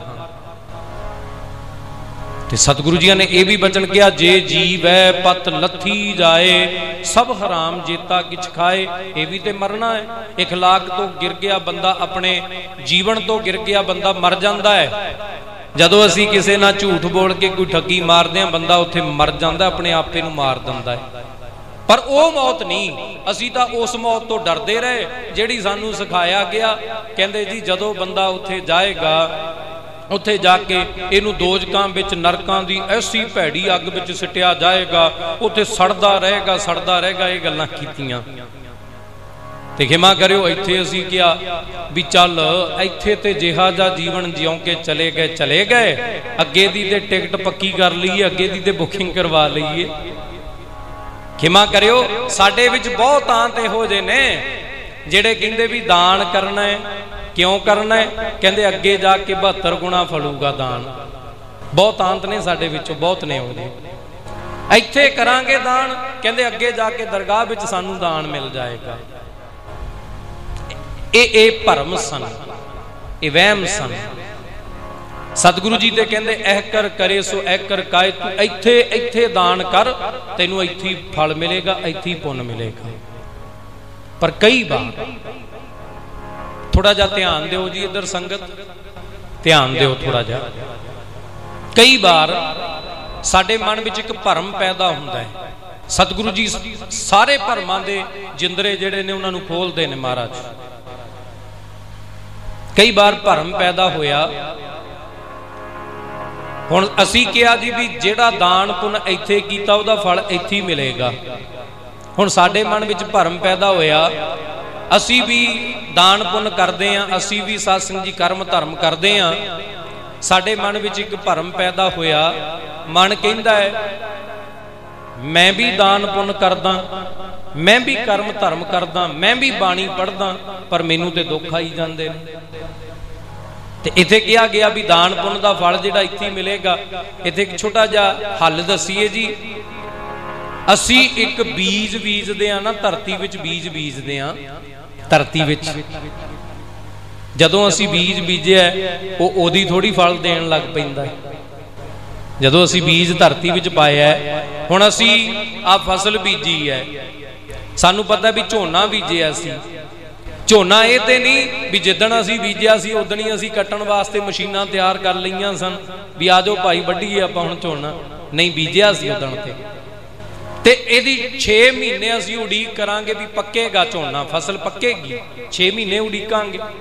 ਇਦਾਂ ਹੀ ਅਸੀਂ ਦਰਖਤ ਲਾਉਨੇ ਆ। ਕਈ ਦਰਖਤ ਨੇ, ਕਈ ਰੁੱਖ ਜਿਹੜੇ ਨੇ, ਉਹ ਇਹੋ ਜਿਹੇ ਨੇ, ਕੋਈ 5 ਸਾਲ ਬਾਅਦ ਫਲ ਦਿੰਦਾ ਹੈ, ਕੋਈ 10 ਸਾਲ ਬਾਅਦ ਫਲ ਦਿੰਦਾ ਹੈ। ਕਹਿੰਦੇ ਨੇ ਜਿਹੜਾ ਇਮਲੀ ਦਾ ਬੂਟਾ, ਇਮਲੀ ਦਾ ਬੂਟਾ ਕਿਸੇ ਨੇ ਵੇਖਿਆ ਹੋਵੇਗਾ, ਕਹਿੰਦੇ 35 ਸਾਲਾਂ ਬਾਅਦ ਫਲ ਦਿੰਦਾ ਹੈ 35 ਸਾਲਾਂ ਬਾਅਦ। ਇੰਨਾ ਲੰਬਾ ਸਮਾਂ। ਤੇ ਅਸੀਂ ਕਰਮ ਕੀਤਾ, ਕਰਮ ਦੀ ਆਸ ਅਸੀਂ ਜੇ ਤਾਂ ਸਾਧ ਸੰਗਤ ਜੀ, ਅਸੀਂ ਦਰਗਾਹ ਦੀ ਬੁਕਿੰਗ ਵਾਸਤੇ ਗੱਲ ਕੀਤੀ, ਫਿਰ ਤੇ ਅਸੀਂ ਸਦੀਆਂ ਉਡੀਕਾਂਗੇ, ਅਸੀਂ ਕਹਾਂਗੇ ਕੋਈ ਨਹੀਂ, ਜਦੋਂ 100 ਸਾਲ ਤੋਂ ਬਾਅਦ ਜਾਂ ਜਿੰਨੀ ਵੀ ਉਮਰ ਤੋਂ ਬਾਅਦ ਅਸੀਂ ਜਾਵਾਂਗੇ ਉੱਥੇ ਉੱਥੇ ਜਾ ਕੇ ਸਾਨੂੰ ਉਹਦਾ ਫਲ ਮਿਲੂਗਾ, ਉਹਦੀ ਤੇ ਉਡੀਕ ਕਰ ਲਈ। ਜਿਹੜਾ ਕਰਮ ਇੱਥੇ ਕੀਤਾ, ਜੇ ਅਸੀਂ ਕਿਹਾ ਵੀ ਇੱਥੇ ਫਲ ਮਿਲੂਗਾ, ਫਿਰ ਬੰਦਾ ਅੱਜ ਇੱਕ ਕਰਮ ਧਰਮ ਕੀਤਾ, ਅੱਜ ਇੱਕ ਪੁੰਨ ਕੀਤਾ, ਬੰਦਾ ਕਹਿੰਦਾ ਮੈਨੂੰ ਫਲ ਤਾਂ ਮਿਲਿਆ ਹੀ ਮੈਨੂੰ ਫਲ ਤੇ ਮਿਲਿਆ ਹੀ ਨਹੀਂ। ਨਹੀਂ, ਕੁਝ ਉਡੀਕ ਕਰਨੀ ਪਏਗੀ। ਕੁਝ ਸਾਸੰਗ ਦੀ ਉਡੀਕ ਕਰਨੀ ਪਏਗੀ। ਤੋ ਸਤਿਗੁਰੂ ਜੀ ਕਹਿੰਦੇ, ਜਿਹ ਮਾਰਗ ਕੇ ਗਨੇ ਜਾਹੇ, ਨਾ ਕੋਸਾ, ਹਰ ਕਾ ਨਾਮ ਊਹਾ ਸੰਗ ਤੋਸਾ। ਜਿਹ ਪੈਂਡੈ ਮਹਾ ਅੰਧ ਗੁਬਾਰਾ, ਹਰ ਕਾ ਨਾਮ ਸੰਗ ਉਜੀਆ। ਜਿਸ ਪੈਂਡੇ ਤੇ ਜਿਸ ਰਾਹ ਤੇ ਇਹ ਸਾਰੀਆਂ ਗੱਲਾਂ ਪ੍ਰਚਲਿਤ ਸੀ ਸਾਡੇ ਵਿੱਚ। ਕਿਹਾ ਗਿਆ, ਜਿਸ ਰਾਹ ਤੂੰ ਜਾਣਾ ਉਸ ਰਾਹ ਤੇ ਹਨੇਰ ਗੁਬਾਰ ਹੋਏਗਾ, ਉੱਥੇ ਕੁਝ ਨਹੀਂ ਦੀਂਦਾ ਹੋਏਗਾ। ਉਸ ਰਾਹ ਤੇ ਕੁਝ ਨਹੀਂ ਦੀਂਦਾ ਹੋਏਗਾ, ਜੇ ਪ੍ਰਮਾਤਮਾ ਦਾ ਨਾਮ ਜਪਿਆ ਹੋਏਗਾ, ਤੈਨੂੰ ਉਥੇ ਹਰ ਕਾ ਨਾਮ ਸੰਗੂ ਜੀ ਆਰਾ ਛਾਨਣ ਹੋ ਜਾਏਗਾ। ਇਹ ਕਿਹਾ ਗਿਆ, ਪਰ ਅਸਲ ਵਿੱਚ ਇਹ ਨਹੀਂ ਜੀ। ਇੱਥੇ ਇੱਥੇ ਅਸੀਂ ਭਾਵੇਂ ਸਾਰੇ ਆ, ਹੁਣ ਦਿਨ ਚੜਿਆ ਹੋਇਆ ਨਾ ਕੋਈ ਬਲਬ ਦੀ ਲੋੜ ਨਹੀਂ, ਕੋਈ ਲਾਈਟ ਦੀ ਲੋੜ ਨਹੀਂ। ਸਾਨੂੰ ਪਤਾ ਵੀ ਦਿਨ ਚੜਿਆ ਹੋਇਆ ਹੈ। ਅਸੀਂ ਕਹਾਂਗੇ ਹੁਣ ਕੀ ਹਨੇਰਾ ਹੈ? ਹੁਣ ਤਾਂ ਚਾਨਣ ਹੈ। ਹੁਣ ਤੇ ਚਾਨਣ ਹੈ। ਪਰ ਸਤਿਗੁਰੂ ਜੀਆਂ ਨੂੰ ਪੁੱਛੋ, ਮਹਾਰਾਜ ਕਹਿੰਦੇ, ਜੇ ਸੋ ਚੰਦਾ ਉਗਵੈ, ਸੂਰਜ ਚੜ੍ਹੈ ਹਜ਼ਾਰ। ਜੇ ਸੌਆਂ ਜਿਹੜੇ ਚੰਦਰਮਾ ਨੇ ਉਗ ਪੈਣ, ਹਜ਼ਾਰਾਂ ਹੀ ਸੂਰਜ ਚੜ ਜਾਣ ਸਤਿਗੁਰੂ ਜੀ ਕਹਿੰਦੇ, ਏਤੇ ਚਾਨਣ ਹੁੰਦਿਆਂ ਗੁਰਬਿਨ ਘੋਰ ਅੰਧਾਰ। ਇੰਨਾ ਚਾਨਣ ਹੁੰਦਿਆਂ ਹੋਇਆਂ ਵੀ ਮੇਰੇ ਸਤਿਗੁਰੂ ਜੀ ਕਹਿੰਦੇ ਨੇ, ਭਾਈ, ਲੱਖਾਂ ਚੰਦਰਮਾ, ਲੱਖਾਂ ਸੂਰਜ ਚੜ ਜਾਣ, ਪਰ ਸਤਿਗੁਰੂ ਪੂਰਿਆਂ ਤੋਂ ਬਿਨਾ ਸਾਨੂੰ ਹਮੇਸ਼ਾ ਅਸੀਂ ਹਨੇਰੇ ਵਿੱਚ ਜਿਉਂਨੇ ਆ, ਅਸੀਂ ਅੰਧਕਾਰ ਵਿੱਚ ਜਿਉਂਨੇ ਆ। ਸਤਿਗੁਰੂ ਜੀ ਕਹਿੰਦੇ ਨੇ, ਭਾਈ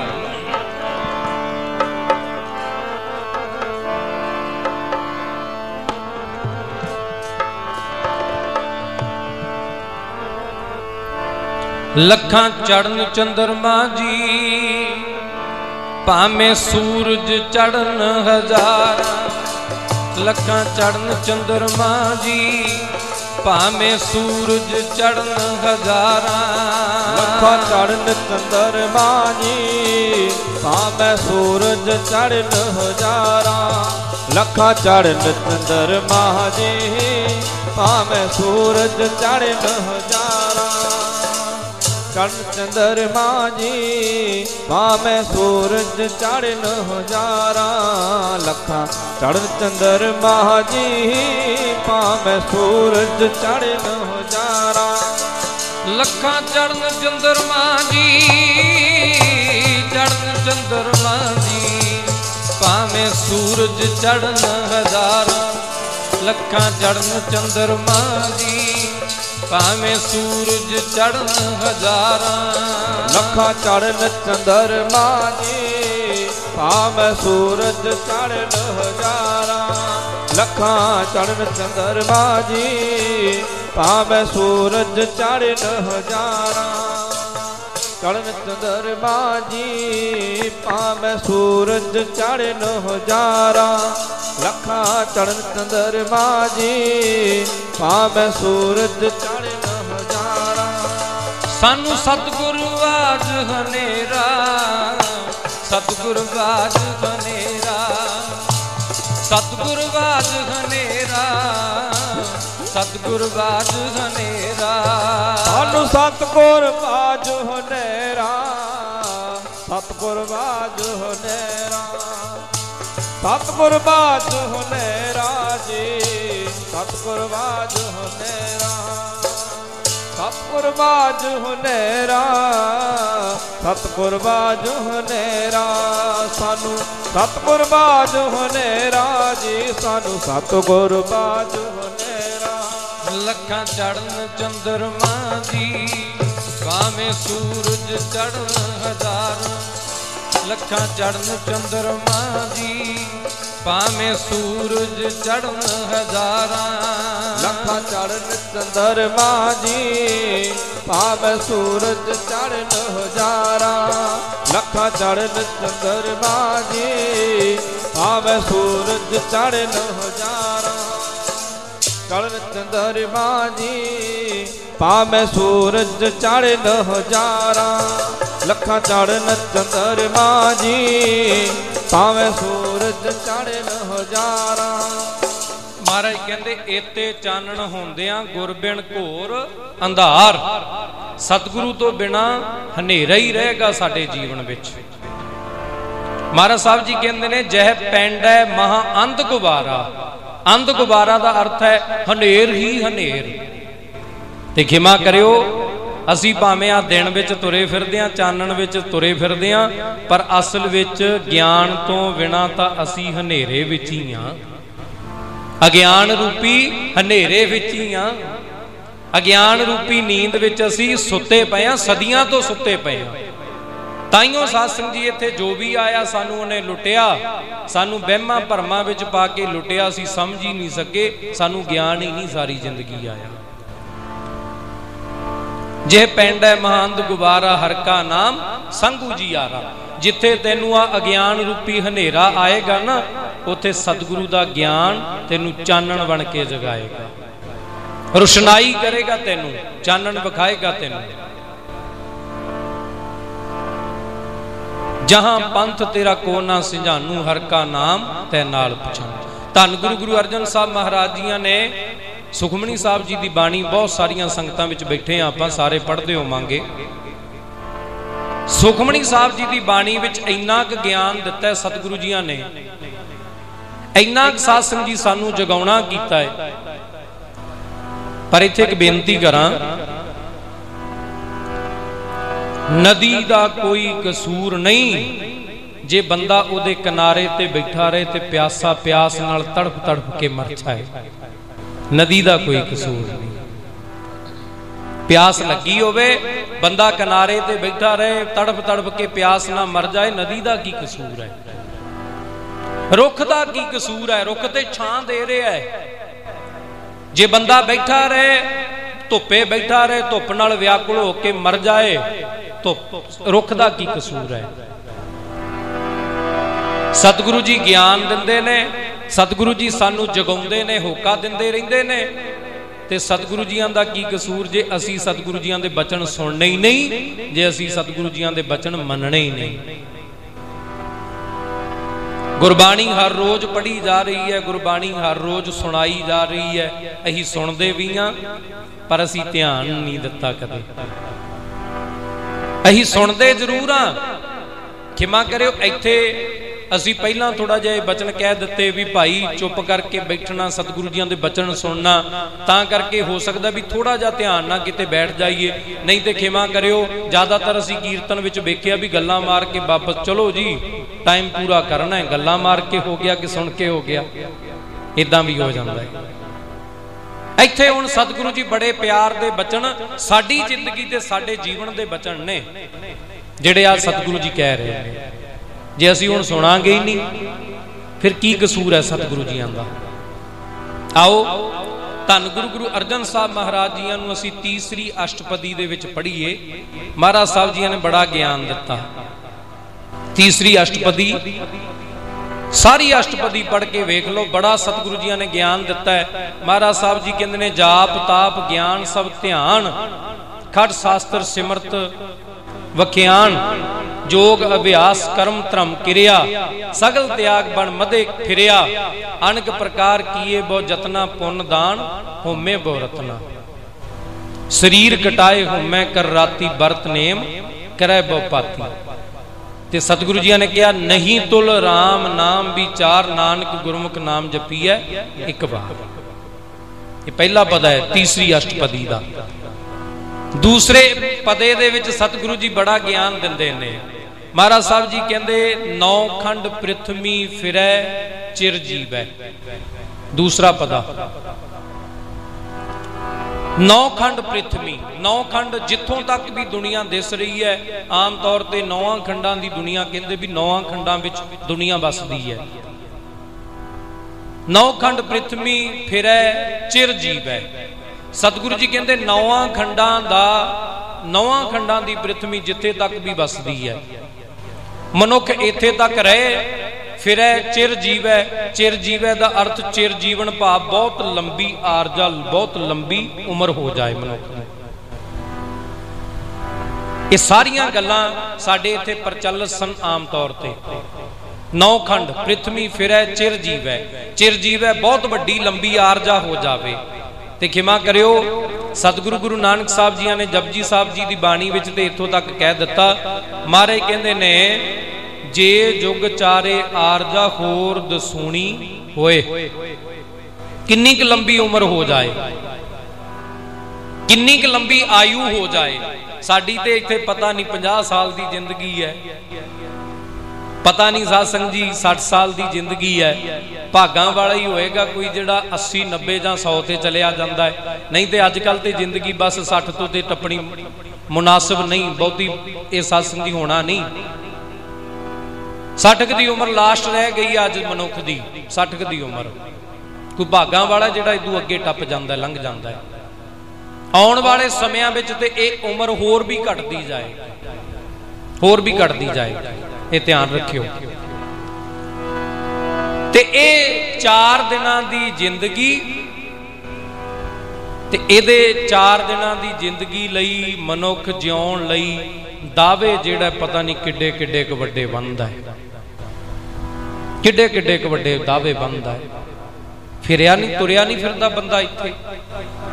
ਐਵੇਂ ਹੀ ਲੋਕਾਂ ਨਾਲ ਲੜੀ ਜਾਏਗਾ, ਝਗੜੀ ਜਾਏਗਾ, ਐਵੇਂ ਹੀ ਲੋਕਾਂ ਨਾਲ ਬੈਰ ਵਿਰੋਧ ਪਾਈ ਜਾਏਗਾ, ਐਵੇਂ ਹੀ ਲੋਕਾਂ ਨੂੰ ਮਾੜਾ ਆਖੀ ਜਾਏਗਾ।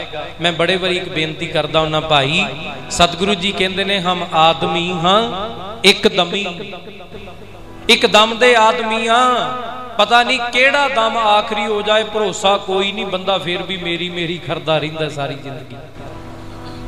ਫੇਰ ਵੀ ਇੱਥੇ ਵੈਰ ਵਿਰੋਧ, ਨਫ਼ਰਤ ਹੀ ਨਫ਼ਰਤਾਂ ਪਾਉਂਦਾ ਰਹਿੰਦਾ ਬੰਦਾ। ਇਹ ਭਰੋਸਾ ਕੋਈ ਨਹੀਂ, ਇੱਥੋਂ ਕਦਮ ਪੁੱਟਿਆ, ਅਗਲਾ ਕਦਮ ਪੁੱਟਣਾ ਨਹੀਂ ਪੁੱਟਣਾ ਪਤਾ ਨਹੀਂ, ਭਰੋਸਾ ਕੋਈ ਨਹੀਂ। ਅਗਲਾ ਸਾਹ ਲੈਣਾ ਹੈ ਕਿ ਨਹੀਂ ਲੈਣਾ, ਭਰੋਸਾ ਕੋਈ ਨਹੀਂ, ਪਰ ਬੰਦਾ ਦਾਅਵੇ ਵੱਡੇ ਵੱਡੇ ਬੰਦਾ ਹੈ। ਭਗਤ ਕਬੀਰ ਸਾਹਿਬ ਜੀਆਂ ਦਾ ਬੜਾ ਸੋਹਣਾ ਬਚਨ ਹੈ। ਸਾਧ ਸੰਗ ਜੀ, ਭਗਤ ਜੀ ਕਹਿੰਦੇ ਨੇ ਇੱਥੇ ਜੀਵਨ ਜਿਹੜਾ 4 ਦਿਨਾਂ ਦਾ ਹੈ। ਪਰ ਜਿਹੜੇ ਇਹ ਦਾਅਵੇ ਬੰਦ ਇਹ ਸਾਸੰਗ ਜੀ ਆਪਣੇ ਹੱਕ ਜਮਾਉਂਦਾ, ਉਹ ਬੜੇ ਵੱਡੇ ਵੱਡੇ ਜਮਾਉਂਦਾ ਹੈ। ਦਿਵਸ ਚਾਰ ਕੋ ਪੇਖਣਾ, ਅੰਤ ਖੇ ਕੀ ਖੇ। ਬਾਬਾ ਫਰੀਦ ਸਾਹਿਬ ਜੀ ਕਹਿੰਦੇ ਨੇ ਪਤਾ ਨਹੀਂ ਕਿਹੜਾ ਸਾਹ ਆਖਰੀ ਹੋ ਜਾਏ, ਪਰ ਮਨੁੱਖ ਤੁਰਿਆ ਰਹਿੰਦਾ ਹੈ। ਮਹਾਰਾਜ ਕਹਿੰਦੇ ਨੌ ਖੰਡ ਫਿਰੈ, ਚਿਰ ਜੀਵੈ। ਸਤਿਗੁਰੂ ਗੁਰੂ ਨਾਨਕ ਸਾਹਿਬ ਕਹਿੰਦੇ, ਜੇ ਜੁਗ ਚਾਰੇ ਆਰਜਾ ਹੋਰ ਦਸੂਣੀ ਹੋਏ। ਤੇਰੀ ਚਾਰ ਜੁਗਾਂ ਦੀ ਵੀ ਆਰਜਾ ਹੋ ਜਾਏ। ਚਾਰ ਜੁਗਾਂ ਦੀ। ਹੋਰ ਦਸੂਣੀ ਹੋਏ। 10 ਗੁਣਾ ਹੋਰ ਵੱਧ ਜਾਏ। 40 ਜੁਗਾਂ ਦੀ ਵੀ ਆਰਜਾ ਹੋ ਜਾਏ। ਐਡੀ ਲੰਬੀ ਆਰਜਾ ਪਰ ਜੇ ਪ੍ਰਮਾਤਮਾ ਦਾ ਨਾਮ ਤੇਰੇ ਮਨ ਵਿੱਚ ਨਹੀਂ ਵਸਿਆ ਨਾ, ਤੇ ਸਤਿਗੁਰੂ ਜੀ ਨੇ ਇੱਥੋਂ ਤੱਕ ਕਹਿ ਦਿੱਤਾ, ਮਾਰੇ ਕਹਿੰਦੇ, ਨਵ ਖੰਡਨ ਕੋ ਰਾਜ ਕਮਾਵੇ, ਅੰਤ ਚੱਲੇਗੋ ਹਾਰੀ। ਕਹਿੰਦੇ, ਬੰਦਾ ਨਵਾਂ ਖੰਡਾਂ ਦਾ ਰਾਜ ਵੀ ਕਿਉਂ ਨਾ ਕਮਾ ਕੇ ਚਲਿਆ ਜਾਏ, ਜੇ ਪ੍ਰਮਾਤਮਾ ਦਾ ਨਾਮ, ਵਾਹਿਗੁਰੂ ਦਾ ਨਾਮ ਮਨ ਵਿੱਚ ਨਹੀਂ ਵਸਿਆ, ਤੇ ਸਤਿਗੁਰੂ ਜੀ ਕਹਿੰਦੇ, ਭਾਈ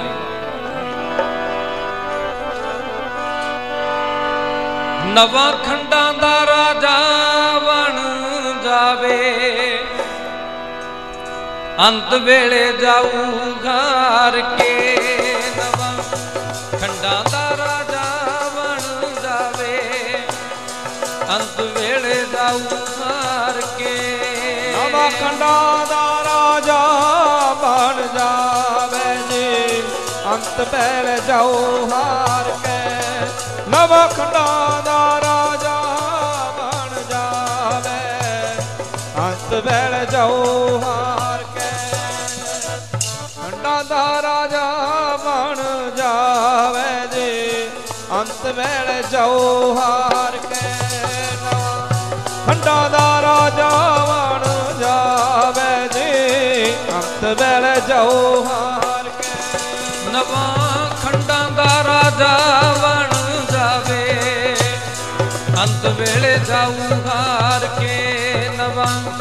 ਖੰਡਾਂ ਦਾ ਰਾਜਾ ਬਣ ਜਾਵੇ। ਅੰਤ ਵੇਲੇ ਜਾਊ ਹਾਰ ਕੇ। ਨਵਾਂ ਖੰਡਾ ਦਾ ਰਾਜਾ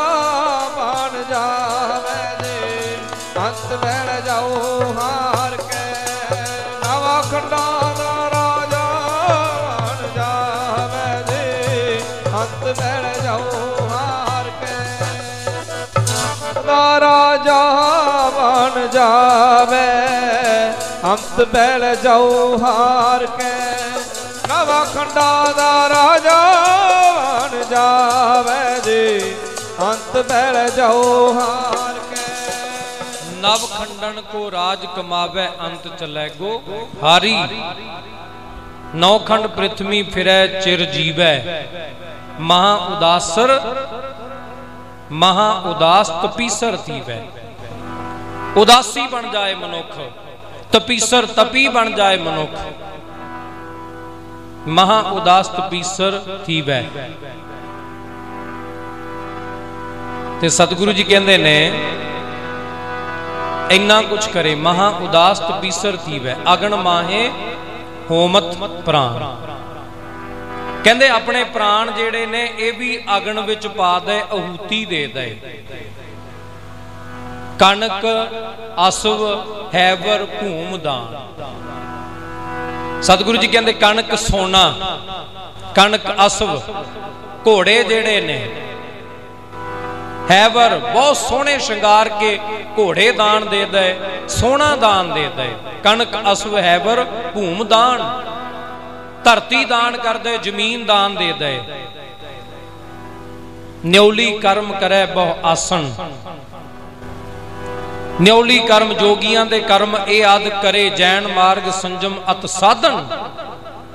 ਜੈਨੀਆਂ ਦੇ ਜਿਤਨੇ ਮਾਰਗ ਨੇ, ਜਿਤਨੇ ਉਹਨਾਂ ਦੇ ਸੰਜਮ ਨੇ, ਉਹ ਸਾਰੇ ਸਾਧ ਲਏ। ਜੈਨ ਮਾਰਗ ਸੰਜਮ ਅਤ ਸਾਧਨ। ਨਿਮਖ ਨਿਮਖ ਕਰ ਸਰੀਰ ਘਟਾਵੇ। ਮਾਰੇ ਕਹਿੰਦੇ ਛੋਟਾ ਛੋਟਾ ਕਰਕੇ ਸਰੀਰ ਵੀ ਘਟਾ ਦੇ ਤਉਪੀ ਹਉਮੈ, ਮੈਲ ਨਾ ਜਾਵੇ। ਸਤਿਗੁਰੂ ਜੀ ਕਹਿੰਦੇ ਅੰਦਰੋਂ ਹਉਮੈ ਦੀ ਮੈਲ ਨਹੀਂ ਜਾਣੀ ਫਿਰ ਵੀ। ਇਹ ਸਾਰੇ ਸਾਧਨ ਕਰ ਲਏ, ਸਾਰੇ ਯਤਨ ਕਰ ਲਏ। ਖਿਮਾ ਕਰਿਓ ਜੀ, ਇੱਥੇ ਅਸੀਂ ਨਹੀਂ ਇਹ ਯਤਨ ਕਰਦੇ, ਅਸੀਂ ਨਹੀਂ ਸਾਧਨ ਕਰਦੇ। ਥੋੜਾ ਜਿਹਾ ਦਾਨ ਪੁੰਨ ਕਰ ਲੈਣਾ ਥੋੜਾ ਜਿਹਾ ਦਾਨ ਬੰਦੇ ਨੂੰ ਪੁੱਛੇ, ਭਾਈ, ਰੱਬ ਰੱਬ ਕਰਿਆ ਕਰ। ਕਹਿੰਦਾ ਵੀ ਆਪਾਂ ਤਾਂ ਦਾਨ ਕਰ ਲੈਨੇ ਆ ਆਪਾਂ ਦਾਨ ਕਰ ਲੈਨੇ ਆ ਖਿਮਾ ਕਰਿਓ, ਇੱਥੇ ਵੀ ਮੈਂ ਇੱਕ ਛੋਟੀ ਜੀ ਬੇਨਤੀ ਕਰਾਂ। ਦਾਨ ਕਰਨਾ, ਕਿਹਨੂੰ ਦਾਨ ਕਰਦੇ ਆ ਅਸੀਂ? ਅਸੀਂ ਦਾਨ ਕਰਦੇ ਆ ਜਿਹਨੂੰ ਅਸੀਂ ਜਾਣਦੇ ਆ ਵਾਈ ਫੇਸ ਜਾਣਦੇ ਆ ਅਸੀਂ ਦਾਨ ਕਰਦੇ ਆ ਹੁਣ ਮੈਂ ਬੜੀ ਇੱਕ ਇਹ ਬੇਨਤੀ ਹੁਣ ਕਈ ਦਿਨਾਂ ਤੋਂ ਮੈਂ ਕਰਦਾ ਆ ਰਿਹਾ। ਸਾਸੰਗ ਜੀ, ਆ ਰੋਹੰਗੇ ਆਪ ਜੀਆਂ ਨੇ ਸੁਣਿਆ ਹੋਵੇਗਾ, ਰੋਹੰਗੇ ਇੱਕ ਮੁਸਲਮਾਨ ਤਬਕਾ ਹੈ। ਰੋਹੰਗੇ। ਤੇ ਉਹਨਾਂ ਤੇ ਵਿਪਤਾ ਪਈ ਹੈ। ਉਹਨਾਂ ਨੂੰ ਦੇਸ਼ ਨਿਕਾਲਾ, ਕਈ ਥਾਂ ਤੋਂ ਦੇ ਦਿੱਤਾ, ਕਈ ਥਾਂ ਤੋਂ ਉਹ ਆਪ ਵਿਚਾਰੇ ਸਰਨਾਰਥੀ ਬਣ ਕੇ ਉਜੜ ਕੇ ਆ ਗਏ। ਕਿਉਂਕਿ ਮਾਰਿਆ ਜਾ ਰਿਹਾ, ਉਹਨਾਂ ਨੂੰ ਵੱਢ ਟੋਕ ਕੀਤੀ ਜਾ ਰਹੀ ਹੈ। ਤੇ ਦੁਖੀ ਹੁੰਦੇ ਉਹ ਵਿਚਾਰੇ ਸਰਨਾਰਥੀ ਕੈਂਪਾਂ ਵਿੱਚ ਬੈਠੇ ਨੇ। ਤੇ ਉਥੇ ਸਾਸੰਗ ਜੀ ਸਾਡੇ ਸਿੱਖਾਂ ਨੇ, ਸਾਡੇ ਮੇਰੇ ਭਰਾਵਾਂ ਨੇ। ਬੜਾ ਵੱਡਾ ਇੱਕ ਉਦਮ ਉਪਰਾਲਾ ਕੀਤਾ। ਉਥੇ ਸਾਸੰਗ ਜੀ ਹੁਣ ਦੱਸਿਆ ਗਿਆ ਵੀ 35000 ਦੇ ਕਰੀਬ ਰੋਹੰਗੇ ਜਿਹੜੇ ਨੇ, ਉਹ ਸਰਨਾਰਥੀ ਕੈਂਪਾਂ ਵਿੱਚ ਰਹਿ ਰਹੇ ਨੇ। ਤੇ ਮੇਰੇ ਸਿੱਖ ਭਰਾ ਉੱਥੇ ਗਏ, ਜਿਹੜੇ ਉਹਨਾਂ ਨੂੰ ਜਾਣਦੇ ਤੱਕ ਨਹੀਂ ਸੀ। ਉਹਨਾਂ ਦਾ ਮੁਲਕ ਵੀ ਸਾਡਾ ਨਹੀਂ ਸੀ। ਉਹਨਾਂ ਨੂੰ ਜਾਣਦੇ ਵੀ ਨਹੀਂ ਸੀ, ਪਰ ਫਿਰ ਵੀ ਉਹਨਾਂ ਦੀ ਮਦਦ ਕਰਨ ਵਾਸਤੇ ਉੱਥੇ ਲੰਗਰ ਚੱਲ ਰਿਹਾ, ਜਿਹੜਾ ਢਿੱਡੋਂ ਭੁੱਖਾ ਹੈ, ਉਹਨੂੰ ਲੰਗਰ ਛਕਾਇਆ ਜਾ ਰਿਹਾ ਹੈ। ਜਿਹੜਾ ਸਾਧ ਸੰਗਤ ਜੀ ਤਨ ਤੋਂ ਨੰਗਾ ਉਹਨੂੰ ਵਸਤਰ ਪਹਿਨਾਏ ਜਾ ਰਹੇ ਨੇ। ਜਿਹੜੇ ਸਰੀਰ ਉੱਪਰ ਕੋਈ ਜ਼ਖਮ ਫੱਟ ਹੋ ਗਏ, ਉਹਦੀ ਮਰਮ ਪੱਟੀ ਕੀਤੀ ਜਾ ਰਹੀ ਹੈ। ਅਸਲੀ ਸੇਵਾ ਤੇ ਇਹ ਹੈ। ਜਿਹਨੂੰ ਅਸੀਂ ਜਾਣਦੇ ਵੀ ਨਹੀਂ। ਆਪਣੀ ਫੋਕੀ ਹਉਮੈ ਦੇ ਲਈ ਤੇ ਅਸੀਂ ਥਾਂ ਥਾਂ ਤੇ ਪੱਥਰ ਸਾਡੇ ਲੱਗੇ ਹੀ ਪਏ ਨੇ। ਲੱਗੇ ਨਹੀਂ ਪਏ ਸਾਡੇ ਪੱਥਰ? ਅਸੀਂ ਕਿਸੇ ਸਾਂਝੀ ਜਗ੍ਹਾ ਤੇ ਕੋਈ ਪੱਖਾ ਵੀ ਦਾਨ ਕਰ ਦਈਏ ਨਾ, ਪੱਖਾ ਵੀ ਦਾਨ ਕਰ ਦਈਏ। ਕਹਿੰਦੇ ਇਹਦੇ ਤੇ ਪਹਿਲਾਂ ਮੇਰਾ ਨਾਮ ਲਿਖੋ, ਫੇਰ ਇਹਨੂੰ ਉੱਪਰ ਚੜਾਇਓ ਪਹਿਲਾਂ ਨਾਮ ਲਿਖ ਦਿਓ ਪੱਥਰ ਅਸੀਂ ਗੁਰੂ ਘਰ ਕਾਲੇ ਨਹੀਂ ਕੀਤੇ ਪਏ, ਪੱਥਰਾਂ ਦੇ ਉੱਪਰ ਨਾਂ ਨਾਂ ਲਿਖ ਲਿਖ ਕੇ ਅਸੀਂ ਆਪਣੇ। ਫਲਾਨਾ ਸਿਓ ਨੇ ਇੰਨੀ ਸੇਵਾ ਕਰਵਾਈ, ਇੰਨੀ ਸੇਵਾ ਕਰਵਾਈ।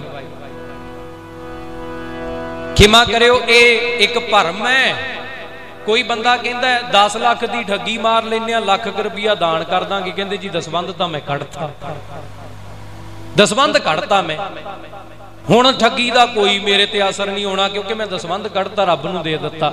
ਖਿਮਾ ਕਰਿਓ, ਦੁਨੀਆ ਨਾਲ ਧੋਖੇ ਕਰਦਾ ਕਰਦਾ ਮਨੁੱਖ ਰੱਬ ਨਾਲ ਵੀ ਧੋਖੇ ਕਰਨ ਲੱਗ ਪਿਆ। ਉਹ ਜਾਣਦਾ ਨਹੀਂ, ਤੇ ਠੱਗੀ ਮਾਰੀ ਹੈ। ਉਹ ਜਾਣਦਾ ਨਹੀਂ, ਕਿਸੇ ਗਰੀਬ ਦਾ ਗਲ ਵੱਢ ਕੇ ਤੂੰ ਉਹਦਾ ਹੱਕ ਖੋ ਕੇ ਲਿਆਇਆ ਕਹਿੰਦਾ ਕੋਈ ਨਹੀਂ, ਇਹ ਤਾਂ ਚੱਲਦਾ ਹੀ ਰਹਿੰਦਾ ਹੈ। ਥੋੜਾ ਜਿਹਾ ਦਾਨ ਕਰ ਦਿਆਂਗੇ, ਸਾਰਾ ਹਿਸਾਬ ਬਰਾਬਰ ਹੋ ਜਾਊਗਾ, ਬਸ। ਇਹੋ ਜੀ ਸੋਚ ਬਣ ਗਈ। ਸੋਚ ਬਣੀ ਨਹੀਂ, ਸਾਡੀ ਇਹ ਬਣਾਈ ਗਈ ਹੈ ਸੋਚ ਜੀ। ਬਣਾਈ ਗਈ ਸੋਚ। ਸਦੀਆਂ ਤੋਂ ਸਾਨੂੰ ਭਰਮਾਂ ਵਿੱਚ ਰੱਖ ਕੇ ਵੀ ਕੋਈ ਨਹੀਂ ਜੀ, ਦਾਨ ਕਰੋ। ਦਾਨ ਕਰਨ ਦੇ ਨਾਲ ਸਾਰੀ ਪਾਪ ਮਿਟ ਜਾਂਦੇ ਨੇ। ਦਾਨ ਪੁੰਨ ਕਰਨ ਦੇ ਨਾਲ ਦਾਨ ਕਰਨਾ ਭਲਾ ਹੈ, ਪਰ ਕਰਨਾ ਭਲਾ ਇਹ ਹੈ, ਜੇ ਤੇਰੇ ਸਾਹਮਣੇ ਕੋਈ ਭੁੱਖਾ ਮਰ ਰਿਹਾ, ਉਹਨੂੰ ਪ੍ਰਸ਼ਾਦਾ ਪਾਣੀ ਛਕਾ ਦੇ, ਇਹ ਦਾਨ ਹੈ। ਇਹ ਦਾਨ ਹੈ। ਕਿਸੇ ਗਰੀਬ ਦੀ ਧੀ ਦਾ ਵਿਆਹ ਕਰਦੇ ਇਹ ਦਾਨ ਹੈ। ਕੋਈ ਦੁਖੀ ਆਪਣਾ ਇਲਾਜ ਨਹੀਂ ਕਰਵਾ ਸਕਦਾ, ਉਹਦਾ ਇਲਾਜ ਕਰਵਾ ਦੇ, ਇਹ ਦਾਨ ਹੈ। ਇਹ ਦਾਨ ਨਹੀਂ, ਇੱਕ ਰੱਜਿਆ ਹੋਇਆ ਬੰਦਾ ਹੁੰਦਾ ਹੈ। ਮੈਂ ਬੜੇ ਵਾਰੀ ਇਹ ਬੇਨਤੀ ਕੀਤੀ ਹੈ, ਕਈ ਵਾਰ ਘਰ ਵਿੱਚ ਅਸੀਂ ਸਹਿਜ ਪਾਠ, ਅਖੰਡ ਪਾਠ ਕੀਤਾ ਤੇ ਸਾਡੇ ਘਰ ਅਸੀਂ ਰਿਸ਼ਤੇਦਾਰਾਂ ਨੂੰ ਬੁਲਾਇਆ, ਦੋਸਤ ਮਿੱਤਰਾਂ ਨੂੰ ਬੁਲਾਇਆ, ਬੁਲਾ ਕੇ ਅਸੀਂ ਕਿਹਾ ਆਜਾ ਭਾਈ, ਪ੍ਰਸ਼ਾਦਾ ਛੱਕ ਕੇ ਜਾਣਾ ਹੈ, ਜਰੂਰ ਛੱਕ ਕੇ ਜਾਣਾ ਹੈ। ਬੁਲਾਇਆ ਜਾਂਦਾ ਹੈ। ਭਾਵੇਂ ਥੋੜੇ ਚੋਂ ਥੋੜਾ ਲਿਓ, ਛਕਣਾ ਪਏਗਾ। ਬੰਦਾ ਕਹਿੰਦਾ ਵੀ, ਭਰਾਵਾ, ਮੈਂ ਤੇ ਹੁਣੇ ਹੀ ਥਾਲੀ ਧਰ ਕੇ ਆਇਆ। ਮੈਂ ਤਾਂ ਹੁਣੀ ਅਜੇ ਪ੍ਰਸ਼ਾਦਾ ਛੱਕ ਹੀ ਆਇਆ। ਕਹਿੰਦੇ ਸਾਨੂੰ ਨਹੀਂ ਪਤਾ, ਭਾਵੇਂ ਅੱਧਾ ਖਾ, ਭਾਵੇਂ ਦੋ ਬੁਰਕੀਆਂ ਲਾ, ਪਰ ਖਾਣਾ ਪਊਗਾ। ਉਹ ਕਹਿੰਦਾ, ਮੇਰੇ ਤੇ ਢਿੱਡ ਵਿੱਚ ਪਾਉਣ ਜੱਗੀ ਇੱਕ ਇੱਕ ਬੁਰਕੀ ਵੀ ਪਾਉਣ ਜੋਗੀ ਜਗ੍ਹਾ ਨਹੀਂ। ਅਸੀਂ ਕਿਹਾ, ਨਾ, ਖਾਣਾ ਪਊਗਾ, ਜਿਵੇਂ ਮਰਜ਼ੀ ਖਾ, ਸਾਨੂੰ ਨਹੀਂ ਪਤਾ। ਉਤੇ ਰੱਜਿਆ ਹੋਇਆ ਹੈ। ਅਸੀਂ ਧੱਕੇ ਨਾਲ ਫੜ ਫੜ ਕੇ ਬਾਹ ਤੋਂ ਉਹਨੂੰ ਹੋਰ ਰਜਾ ਰਹੇ ਆ ਇੱਕ ਭੁੱਖਾ ਬਾਹਰ ਬੈਠਾ ਕਹੀ ਜਾਂਦਾ ਭਾਈ, ਮੈਨੂੰ ਪ੍ਰਸ਼ਾਦਾ ਦੇ ਦਿਓ। ਮੈਨੂੰ ਭੁੱਖ ਲੱਗੀ ਹੈ। ਉਹਨੂੰ ਕਹਿੰਦੇ, ਜਾ, ਤੇਰੀ ਵਾਰੀ ਤਾਂ ਬਾਅਦ ਚ ਆਊਗੀ। ਇਹ ਦਾਨ ਹੈ। ਕਿੱਧਰ ਨੂੰ ਜਾ ਰਹੇ ਆ ਅਸੀਂ? ਇਹ ਭਰਮ ਸਦੀਆਂ ਤੋਂ ਸਾਡੇ ਵਿੱਚ ਪਾਏ ਗਏ ਸੀ। ਦਾਨ ਕਰ ਲਓ, ਦਾਨ। ਪਰਮਾਤਮਾ ਤੋਂ ਦੂਰ ਕਰ ਦਿੱਤਾ, ਵਾਹਿਗੁਰੂ ਦੀ ਬੰਦਗੀ ਤੋਂ ਦੂਰ ਕਰ ਦਿੱਤਾ, ਗਿਆਨ ਤੋਂ ਵੀ ਦੂਰ ਕਰ ਦਿੱਤਾ। ਉਹਨਾਂ ਨੇ ਕਿਹਾ, ਤੁਹਾਨੂੰ ਕੋਈ ਲੋੜ ਨਹੀਂ ਵੇਦ ਪੜਨ ਦੀ, ਬਸ ਤੁਸੀਂ ਤਾਂ ਥੋੜਾ ਮੋਟਾ ਦਾਨ ਕਰ ਲਿਆ ਕਰੋ, ਆ ਜਿਵੇਂ ਹੁਣ ਸ਼ਰਾਧ ਚੱਲੇ ਸੀ ਨਾ ਸ਼ਰਾਧ, ਵੀ ਸ਼ਰਾਧਾਂ ਦੀ ਰੋਟੀ ਖਵਾ ਦਿਆ ਕਰੋ, ਤੁਹਾਨੂੰ ਕੋਈ ਲੋੜ ਨਹੀਂ ਦਾ ਗਿਆਨ ਪੜਨ ਦੀ। ਤੁਹਾਨੂੰ ਕੋਈ ਲੋੜ ਨਹੀਂ ਵੇਦ ਸ਼ਾਸਤਰ ਪੜਨ ਦੀ, ਆ ਬਸ ਦਾਨ ਪੁੰਨ ਕਰ ਲਿਆ ਕਰਿਓ। ਇਹ ਭਰਮ ਸੀ। ਪਾਏ ਗਏ ਸਾਡੇ ਵਿੱਚ। ਅਸੀਂ ਇਹ ਭਰਮਾਂ ਵਿੱਚ ਹੀ ਜਿਉਂਦੇ ਰਹੇ। ਬੰਦਾ ਕਹਿੰਦਾ, ਇੱਥੇ ਵਾਸਤੇ ਕੁਝ ਨਹੀਂ ਬੰਦਾ ਕਰਦਾ। ਇੱਥੇ ਵਾਸਤੇ ਕੁਝ ਨਹੀਂ ਬੰਦਾ ਕਰਦਾ। ਬੰਦਾ ਜੋ ਕਰਦਾ, ਕਹਿੰਦਾ, ਅੱਗੇ ਜਾ ਕੇ ਦਰਗਾਹ 'ਚ ਮਿਲੂਗਾ। ਦਰਗਾਹ ਲਈ ਸੀਟ ਬੁੱਕ ਕਰਦੇ ਆ, ਕਹਿੰਦਾ। ਦਰਗਾਹ ਲਈ। ਇਹ ਭਰਮ ਨਹੀਂ ਵਹਿਮ ਨਹੀਂ। ਸਤਿਗੁਰੂ ਜੀ ਕਹਿੰਦੇ ਨੇ, ਨਿਮਖ ਨਿਮਖ ਕਰ ਸਰੀਰ ਕਟਾਵੇ ਤਉਪੀ ਹੋਮੈ ਮੈਲ ਨਾ ਜਾਵੇ। ਕਹਿੰਦੇ ਤੂੰ ਛੋਟਾ ਛੋਟਾ ਕਰਕੇ ਵੀ ਆਪਣਾ ਸਰੀਰ, ਆਪਣਾ ਤਣ ਕਟਾ ਦੇ, ਤਾਂ ਵੀ ਤੇਰੇ ਅੰਦਰ ਦੀ ਮੈਲ ਜਿਹੜੀ ਹੈ ਉਹ ਜਾ ਨਹੀਂ ਸਕਦੀ। ਹਉਮੈ ਦੀ ਮੈਲ ਜਿਹੜੀ ਹੈ ਉਹ ਜਾ ਨਹੀਂ ਸਕਦੀ। ਹਰ ਕੇ ਨਾਮ ਸੰਸਰ ਕਛ ਨਾਹੇ, ਨਾਨਕ ਗੁਰਮੁਖ ਨਾਮ ਜਪਤ ਗਤ ਪਾਤੀ। ਆਓ ਹੁਣ ਸੁਣੀਏ ਅਗਲਾ ਬਚਨ। ਸਤਿਗੁਰੂ ਜੀ ਕਹਿੰਦੇ, ਮਨ ਕਾਮਨਾ ਤੀਰਥ ਦੇ ਛੁਟੈ। ਸਾਡਾ ਸਦੀਆਂ ਤੋਂ ਇਹ ਭਰਮ ਰਿਹਾ। ਅੱਜ ਵੀ ਭਰਮ ਵਿੱਚ ਜਿਉ ਰਹੇ ਆ ਅਸੀਂ ਕਿਮਾ ਕਰਿਓ। ਥੋੜਾ ਜਿਹਾ ਰੂਪ ਬਦਲ ਗਿਆ। ਥੋੜਾ ਜਿਹਾ ਰੂਪ ਬਦਲ ਦਿੱਤਾ। ਕਿਵੇਂ ਜੀ? ਪੁਰਾਣੇ ਸਮਿਆਂ ਵਿੱਚ ਲੋਕੀ ਤੀਰਥਾਂ ਤੇ ਜਾਂਦੇ, ਇਸ਼ਨਾਨ ਕਰਨ ਵਾਸਤੇ ਜਾਂਦੇ। ਲੋਕਾਂ ਨੇ ਕਹਿਣਾ ਵੀ ਆਪਾਂ ਫਲਾਣੇ ਫਲਾਣੇ ਪ੍ਰਯਾਗ ਰਾਗ ਨਹਾਉਣ ਜਾਣਾ ਹੈ, ਗੰਗਾ ਤੇ ਨਹਾਉਣ ਜਾਣਾ ਇਦਾਂ ਜਾਂਦੇ ਸੀ। ਭਰਮ ਉਹੀ ਅੱਜ ਵੀ। ਬਸ ਥੋੜਾ ਜਿਹਾ ਰੂਪ ਬਦਲ ਦਿੱਤਾ। ਅੱਜ ਵੀ ਬੰਦਾ ਕਹਿੰਦਾ ਹੈ, ਅੱਜ ਮੱਸਿਆ ਹੈ ਨਾ, ਮੱਸਿਆ ਤੇ ਅੱਜ ਬਹੁਤ ਸਾਰੀਆਂ ਸੰਗਤਾਂ ਗਈਆਂ ਹੋਣਗੀਆਂ ਨਹਾਉਣ। ਖਿਮਾ ਕਰਿਓ, ਮੈਂ ਇਹ ਬਚਨ ਕਹਿੰਦਾ ਨਹੀਂ ਵੀ ਨਹਾਉਣਾ ਨਹੀਂ ਚਾਹੀਦਾ, ਇਸ਼ਨਾਨ ਨਹੀਂ ਕਰਨਾ ਚਾਹੀਦਾ, ਸਰੋਵਰ ਵਿੱਚ ਨਹਾਉਣਾ ਕੋਈ ਮਾੜੀ ਗੱਲ ਹੈ। ਮੈਂ ਇਹ ਨਹੀਂ ਕਹਿੰਦਾ, ਕੋਈ ਮਾੜੀ ਗੱਲ ਨਹੀਂ, ਚੰਗੀ ਗੱਲ ਹੈ। ਸ਼ਰਧਾ ਰੱਖੋ। ਸ਼ਰਧਾ ਜਿਹੜੀ ਹੈ ਸਤਿਗੁਰੂ ਜੀਆਂ ਨੂੰ ਪੁੱਛ ਕੇ ਅਸੀਂ ਸ਼ਰਧਾ ਰੱਖੋ। ਸਤਿਗੁਰੂ ਜੀ ਕਹਿੰਦੇ ਨੇ, ਤੀਰਥ ਨਾਵਣ ਜਾਓ, ਤੀਰਥ ਨਾਮ ਹੈ। ਮਾਰੇ ਕਹਿੰਦੇ, ਤੀਰਥ ਤੇ ਨਹਾਉਣ ਚੱਲੇ ਆ ਅਸਲੀ ਤੀਰਥ ਨਾਮ ਹੈ ਜੇ ਤੀਰਥ ਦੇ ਸਰੋਵਰ ਵਿੱਚ ਤੂੰ ਚੁੱਭੀ ਮਾਰੀ, ਉਥੇ ਤੂੰ ਵਾਹਿਗੁਰੂ ਕਹੇ ਮੁਖੋਂ ਆਪਣੇ ਵਾਹਿਗੁਰੂ ਕਹੇ, ਰਾਮ ਕਹੇ, ਅੱਲਾ ਕਹੇ, ਫਿਰ ਤਾਂ ਤੇਰੇ ਵਾਸਤੇ ਉਹ ਤੀਰਥ ਹੈ। ਜੇ ਚੁੱਭੀ ਮਾਰ ਕੇ ਕਿਸੇ ਦਾ ਬੁਰਾ ਹੀ ਸੋਚਣਾ ਹੈ ਜੇ ਚੁੱਭੀ ਮਾਰ ਕੇ ਕਿਸੇ ਨੂੰ ਗਾਲ ਹੀ ਕੱਢਣੀ ਹੈ ਤੇ ਫਿਰ ਕਾਹਦਾ ਤੀਰਥ ਹੈ ਤੇਰਾ ਫਿਰ ਕਾਹਦਾ ਤੀਰਥ ਹੈ? ਸਤਿਗੁਰੂ ਜੀ ਕਹਿੰਦੇ ਨੇ, ਤੀਰਥ ਨਾਵਣ ਜਾਓ, ਤੀਰਥ ਨਾਮ ਹੈ, ਤੀਰਥ ਸ਼ਬਦ ਵਿਚਾਰ ਅੰਤਰ ਗਿਆਨ ਹੈ। ਤੀਰਥ ਕੀ ਹੈ? ਸ਼ਬਦ ਦੀ ਵਿਚਾਰ। ਸ਼ਬਦ ਦੀ ਵਿਚਾਰ, ਸਤਿਗੁਰੂ ਜੀਆਂ ਦੇ ਸ਼ਬਦ ਦੀ ਵਿਚਾਰ ਅਸੀਂ ਕਦੇ ਨਹੀਂ ਕੀਤੀ। ਅਸੀਂ ਤੀਰਥਾਂ ਤੇ ਫੋਕਾ ਨਹਾਉਂਦੇ, ਮਹਾਰਾਜ ਜੀਆਂ ਨੇ ਇਹ ਵੀ ਕਹਿ ਦਿੱਤਾ, ਸਤਿਗੁਰੂ ਕਹਿੰਦੇ, ਨਹਾਵਣ ਚੱਲੇ, ਤੀਰਥੀ ਮਨ ਖੋਟੇ, ਤਨ ਚੋਰ। ਨਹਾਉਣ ਵਾਸਤੇ ਮਨੁੱਖ ਤੀਰਥ ਤੇ ਚੱਲਿਆ ਮਨ ਖੋਟਾ ਹੀ ਲੈ ਕੇ ਚੱਲਿਆ ਸੀ ਤੇ ਖੋਟਾ ਲੈ ਕੇ ਵਾਪਸ ਆ ਗਿਆ। ਫ਼ਰਕ ਤੇ ਕੋਈ ਨਹੀਂ ਪਿਆ। ਜਿਵੇਂ ਭਗਤ ਕਬੀਰ ਦੀਆਂ ਨੇ ਕਿਹਾ ਸੀ ਨਾ, ਪਾਂਡਿਆਂ ਨੂੰ ਕਦੇ ਕਿਹਾ ਸੀ, ਕਿੱਥੇ ਚੱਲੇ ਹੋ? ਕਹਿੰਦੇ, ਤੀਰਥ ਤੇ ਨਹਾਉਣ ਜਾਂਦੇ ਆ ਕਿਉਂ ਜਾ ਰਹੇ ਹੋ? ਤੀਰਥ ਤੇ ਨਹਾਉਣ। ਕਹਿੰਦੇ, ਉੱਥੇ ਜਾ ਕੇ ਜਿਹੜੀ ਮੈਲ ਲੱਗੀ ਹੋਈ ਆ, ਵਕਾਰਾਂ ਦੀ ਮੈਲ, ਜੀਵਨ ਨੂੰ ਮੈਲ ਲੱਗੀ ਆ, ਉਹ ਲਾ ਕੇ ਆਉਣੀ ਹੈ। ਭਗਤ ਜੀ ਕਹਿੰਦੇ, ਅੱਛਾ, ਜੀਵਨ ਦੀ ਮੈਲ ਲੈ ਜਾਂਦੀ ਹੈ, ਹਾਂਜੀ, ਲੈ ਜਾਂਦੀ ਹੈ। ਭਗਤ ਜੀ ਕਹਿੰਦੇ, ਚੰਗਾ ਫਿਰ ਆ ਇੱਕ ਤੂੰਬੜੀ ਮੇਰੀ ਵੀ ਲੈ ਜਾਓ, ਤੂੰਬੜੀ। ਇਹ ਲੈ ਜਾਓ, ਲੌਕੀ ਕਹਿ ਲੋ ਤੂੰਬੜੀ ਕਹਿ ਲੋ ਲੈ ਜਾਓ। ਕਹਿੰਦੇ ਐਂ ਕਰਿਓ ਜਿੱਥੇ ਜਿੱਥੇ ਤੁਸੀਂ ਚੁੱਭੀਆਂ ਮਾਰੋਗੇ, ਲੌਕੀ ਦਾ ਵੀ ਇਸ਼ਨਾਨ ਕਰਵਾ ਦਿਓ। ਪਰ ਹੈ ਸੀ ਉਹ ਬੜੀ ਕੌੜੀ ਵੇਲ ਦੀ ਤੂੰ ਲੌਕੀ ਜਿਹੜੀ ਸੀ, ਕੌੜੀ ਵੇਲ ਦੀ ਪਤਾ ਸੀ ਭਗਤ ਕਬੀਰ ਜੀ ਨੂੰ ਇਹ ਕੌੜੀ ਹੈ, ਕੜਤਣ ਹੈ ਇਹਦੇ ਵਿੱਚ ਭਰੀ ਹੋਈ।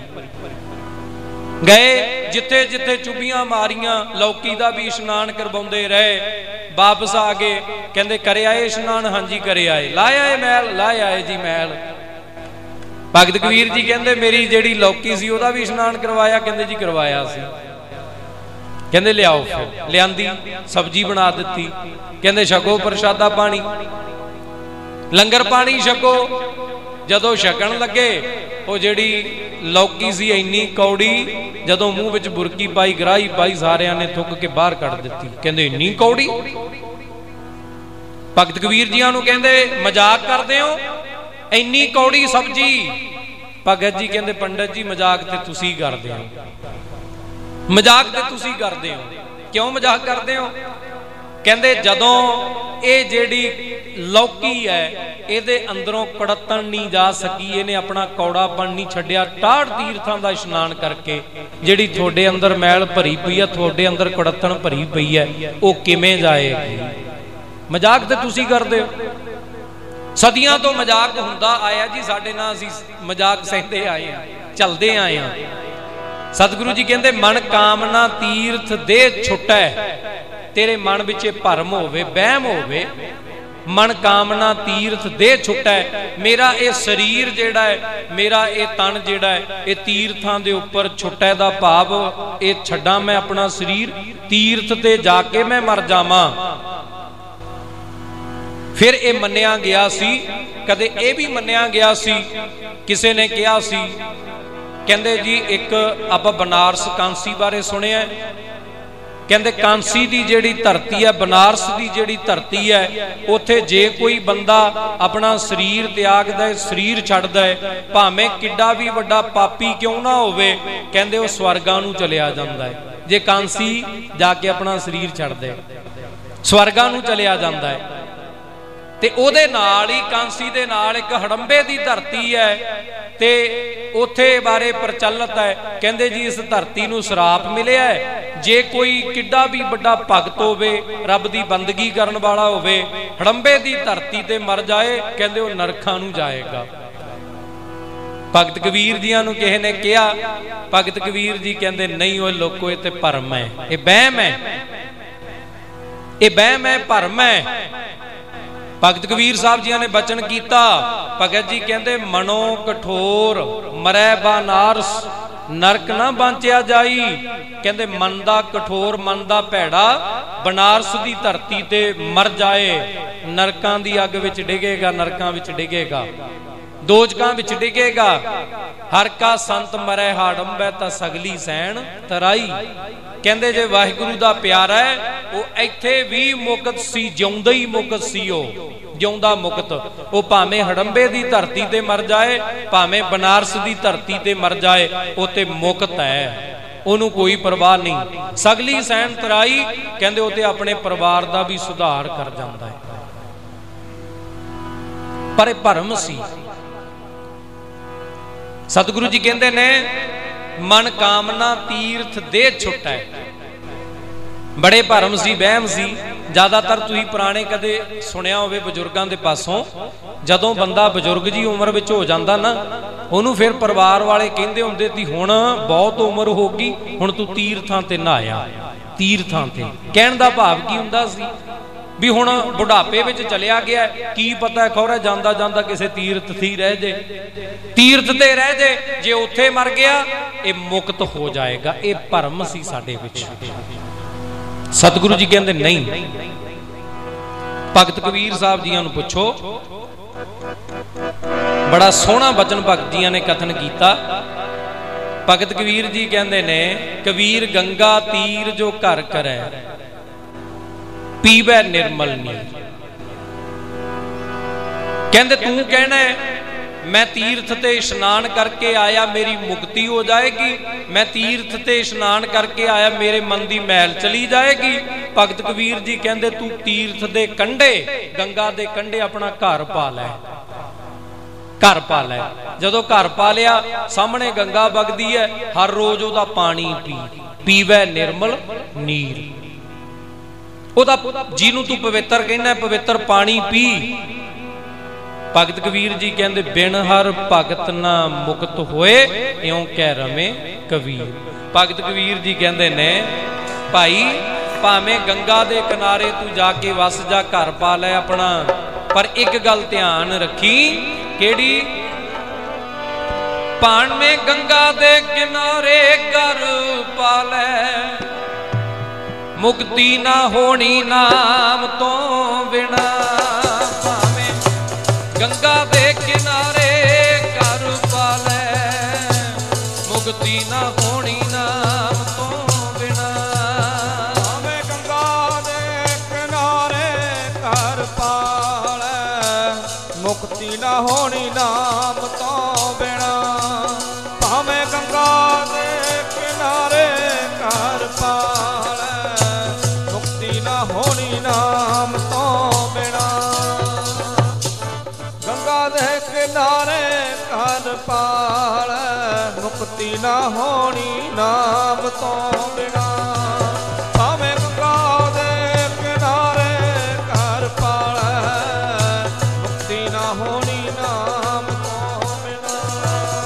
ਪਿਆਰੇ ਜੀ, ਮੁਕਤੀ ਨਾ ਹੋਣੀ ਨਾਮ ਤੋਂ ਬਿਨਾ। ਮੇਰੇ ਪਿਆਰੇ, ਮੁਕਤੀ ਨਾ ਹੋਣੀ ਨਾਮ ਤੋਂ ਬਿਨਾ। ਪਿਆਰੇ ਜੀ, ਮੁਕਤੀ ਨਾ ਹੋਣੀ ਨਾਮ ਤੋਂ ਬਿਨਾ। ਮੇਰੇ ਪਿਆਰੇ, ਮੁਕਤੀ ਨਾ ਹੋਣੀ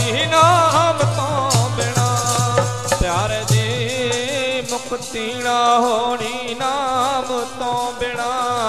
ਮੇਰੇ ਪਿਆਰੇ ਮੁਕਤੀ ਨਾ ਹੋਣੀ ਨਾਮ ਤੋਂ ਬਿਨਾ। ਭਾਵੇਂ ਗੰਗਾ ਦੇ ਕਿਨਾਰੇ ਘਰ ਪਾ ਲੈ ਮੁਕਤੀ ਨਾ ਹੋਣੀ ਨਾਮ ਤੋਂ ਬਿਨਾ। ਭਾਵੇਂ ਗੰਗਾ ਦੇ ਕਿਨਾਰੇ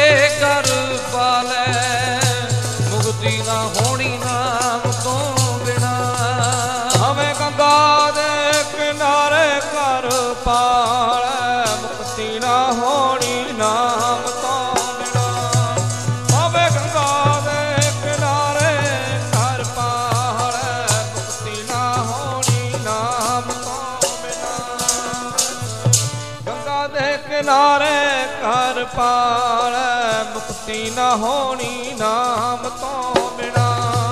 ਹਮੇ ਗੰਗਾ ਦੇ ਕਿਨਾਰੇ ਘਰ ਪਾਲੈ ਮੁਕਤੀ ਨਾ ਹੋਣੀ ਨਾਮ ਤੋਂ ਬਿਨਾ। ਕਬੀਰ ਗੰਗਾ ਤੀਰ ਜੋ ਘਰ ਕਰੈ ਪੀਵੇ ਨਿਰਮਲ ਨੀਰ। ਬਿਨ ਹਰ ਭਗਤ ਨਾ ਮੁਕਤ ਹੋਏ ਇਉਂ ਕਹਿ ਰਮੇ ਕਬੀਰ। ਭਗਤ ਕਬੀਰ ਜੀ ਕਹਿੰਦੇ, ਬਿਨਾ ਵਾਹਿਗੁਰੂ ਦੀ ਬੰਦਗੀ ਤੋਂ, ਬਿਨਾ ਵਾਹਿਗੁਰੂ ਦੀ ਭਗਤੀ ਤੋਂ ਮੁਕਤ ਨਹੀਂ ਹੋਣਾ। ਇਹ ਭਰਮ ਆਪਣੇ ਮਨ ਵਿੱਚੋਂ ਕੱਢ ਦੇ ਤੀਰਥਾਂ ਦੇ ਇਸ਼ਨਾਨ ਕਰਨ ਨਾਲ ਜਾਂ ਤੀਰਥਾਂ ਤੇ ਆਪਣਾ ਤਨ ਸਰੀਰ ਛੱਡਣ ਨਾਲ ਕਿਤੇ ਮੁਕਤੀ ਹੋ ਜਾਏਗੀ। ਇਹ ਭਰਮ ਕੱਢ ਦੇ ਮਨ ਵਿੱਚੋਂ। ਪਰ ਸਦੀਆਂ ਤੋਂ ਮੈਂ ਬੇ- ਬੇਨਤੀ ਕੀਤੀ, ਸਦੀਆਂ ਤੋਂ ਸਾਨੂੰ ਵਹਿਮਾਂ ਵਿੱਚ, ਭਰਮਾਂ ਵਿੱਚ ਪਾਇਆ ਗਿਆ ਸੀ। ਮਨ ਕਾਮਨਾ ਤੀਰਥ ਦੇ ਛੁੱਟੈ ਭਗਤ ਕਬੀਰ ਜੀ ਨੇ ਇੱਕ ਪਾਸੇ ਤੇ ਇਹ ਕਹਿ ਦਿੱਤਾ ਭਾਵੇਂ ਤੂੰ ਗੰਗਾ ਦੇ ਕਿਨਾਰੇ ਆਪਣਾ ਘਰ ਵੀ ਪਾ ਲੈ, ਹਰ ਰੋਜ਼ ਪਾਣੀ, ਗੰਗਾ ਦਾ ਪੀ। ਮੁਕਤੀ ਨਹੀਂ ਹੋਏਗੀ, ਪਰ ਇਹਦੇ ਨਾਲ ਹੀ ਬਚਨ ਭਗਤ ਕਬੀਰ ਜੀਆਂ ਨੇ ਬੜਾ ਸੋਹਣਾ ਕੀਤਾ। ਭਗਤ ਕਬੀਰ ਸਾਹਿਬ ਜੀ ਕਹਿੰਦੇ ਨੇ, ਕਬੀਰ ਮਨ ਨਿਰਮਲ ਭਇਆ। ਜੈਸਾ ਗੰਗਾ ਨੀਰ, ਕਹਿੰਦੇ, ਜਿਵੇਂ ਪਾਣੀ ਦੇ, ਗੰਗਾ ਦੇ ਪਾਣੀ ਨੂੰ ਪਵਿੱਤਰ ਮੰਨਿਆ ਜਾਂਦਾ ਹੈ ਨਾ, ਨਿਰਮਲ ਮੰਨਿਆ ਜਾਂਦਾ ਹੈ। ਜਿੱਦਣ ਤੇਰਾ ਮਨ ਉਸ ਗੰਗਾ ਦੇ ਪਾਣੀ ਵਰਗਾ ਪਵਿੱਤਰ ਹੋ ਗਿਆ ਨਾ, ਨਿਰਮਲ ਹੋ ਗਿਆ। ਕਬੀਰ ਮਨ ਨਿਰਮਲ ਭਇਆ ਜੈਸਾ ਗੰਗਾ, ਨੀਰ। ਤੇ ਭਗਤ ਜੀਆਂ ਨੇ ਬੜਾ ਸੋਹਣਾ ਬਚਨ ਕੀਤਾ। ਭਗਤ ਜੀ ਕਹਿੰਦੇ, ਪਾਛੈ ਲਾਗੋ ਹਰ ਫਿਰੈ, ਕਹਿਤ ਕਬੀਰ ਕਬੀਰ। ਜਦੋਂ ਤੱਕ ਤੇਰਾ ਮਨ ਨਿਰਮਲ ਨਹੀਂ ਸੀ, ਜਦੋਂ ਤੱਕ ਤੇਰੇ ਮਨ ਵਿੱਚ ਮੈਲ ਸੀ, ਉਦੋਂ ਤੱਕ ਤੂੰ ਤੀਰਥਾਂ ਦੇ ਇਸ਼ਨਾਨ ਕਰਦਾ ਕਰਦਾ ਰੱਬ ਨੂੰ ਲੱਭਦਾ ਫਿਰਦਾ ਸੀ। ਜਿੱਦਣ ਤੇਰਾ ਮਨ ਪਵਿੱਤਰ ਹੋ ਗਿਆ, ਉਦੋਂ ਭਾਵੇਂ ਤੂੰ ਘਰ ਵਿੱਚ ਬੈਠਾ ਹੈ, ਘਰ ਵਿੱਚ ਆਪਣੇ ਗ੍ਰਸਥ ਜੀਵਨ ਵਿੱਚ ਬੈਠਾ ਆਪਣੀ ਕਿਰਤ ਵਿਰਤ ਕਰਦਾ ਹੈ, ਜਿੱਦਣ ਤੇਰਾ ਮਨ ਪਵਿੱਤਰ ਹੋ ਗਿਆ, ਉਦੋਂ ਰੱਬ ਨੂੰ ਤੈਨੂੰ ਲੱਭਣ ਦੀ ਲੋੜ ਨਹੀਂ ਪੈਣੀ, ਰੱਬ ਤੈਨੂੰ ਲੱਭਦਾ ਫਿਰੇਗਾ। ਬਾਛੈ ਲਾਗੂ ਹਰ ਫਿਰੈ, ਕਹਿਤ ਕਬੀਰ ਕਬੀਰ। ਕਹਿੰਦੇ, ਪਿੱਛੇ ਪਿੱਛੇ ਫਿਰਦਾ ਰਹੇਗਾ ਤੇਰੇ ਰੱਬ ਲੱਭਦਾ ਫਿਰਦਾ ਰਹੇਗਾ, ਭਾਲਦਾ ਫਿਰਦਾ ਰਹੇਗਾ ਤੈਨੂੰ ਮਨ ਕਾਮਨਾ ਤੀਰਥ ਦੇ ਛੁਟੈ, ਗਰਭ ਗੁਮਾਨ ਨਾ ਮਨ ਤੇ ਫੁੱਟੈ ਕਹਿੰਦੇ, ਇਹ ਗੱਲਾਂ ਨਾਲ ਗਰਭ ਹੰਕਾਰ ਜਿਹੜਾ ਹੈ, ਗੁਮਾਨ ਜਿਹੜਾ ਹੈ, ਉਹ ਮਨ ਤੋਂ ਛੁੱਟਦਾ ਨਹੀਂ, ਮਨ ਤੋਂ ਦੂਰ ਨਹੀਂ ਹੁੰਦਾ। ਗਰਭ ਗੁਮਾਨ ਨਾ ਮਨ ਤੇ ਫੁਟੈ ਸੋਚ ਕਰੈ, ਦਿਨ ਸਰ ਰਾਤ। ਇੱਕ ਸੋਚ ਅਸੀਂ ਸੋਚਦੇ ਆਂ, ਇੱਕ ਸੋਚ ਜਿਹੜੀ ਆ ਸੁਚਮਤਾਈਆਂ ਅਸੀਂ ਰੱਖਦੇ ਆਂ ਇਦਾਂ ਇਦਾਂ ਕਰਕੇ ਵੀ ਮੈਂ ਮੇਰੇ ਪ੍ਰਸ਼ਾਦੇ ਨੂੰ ਫਲਾਨਾ ਨਾ ਹੱਥ ਲਾ ਦੇ, ਮੇਰੇ ਪ੍ਰਸ਼ਾਦੇ ਨੂੰ ਧਮਕਾ ਨਾ ਹੱਥ ਲਾ ਦੇ, ਭਿੱਟਿਆ ਨਾ ਜਾਏ ਮੇਰਾ ਪ੍ਰਸ਼ਾਦਾ ਕਿਤੇ। ਸੋਚ ਕਰੈ ਦਿਨ ਸਰ ਰਾਤ, ਮਨ ਕੀ ਮੈਲ ਨਾ ਤਨ ਤੇ ਜਾਤ। ਸਤਿਗੁਰੂ ਗੁਰੂ ਅਰਜਨ ਸਾਹਿਬ ਮਹਾਰਾਜ ਕਹਿੰਦੇ, ਤੇਰੇ ਮਨ ਦੀ ਜਿਹੜੀ ਮੈਲ ਹੈ ਨਾ, ਮਨ ਦੀ ਮੈਲ, ਉਹ ਤਨ ਧੋਤੇ ਨਾਲ ਨਹੀਂ ਜਾਣੀ, ਤਨ ਨਾਲ ਦੂਰ ਨਹੀਂ ਹੋਣੀ।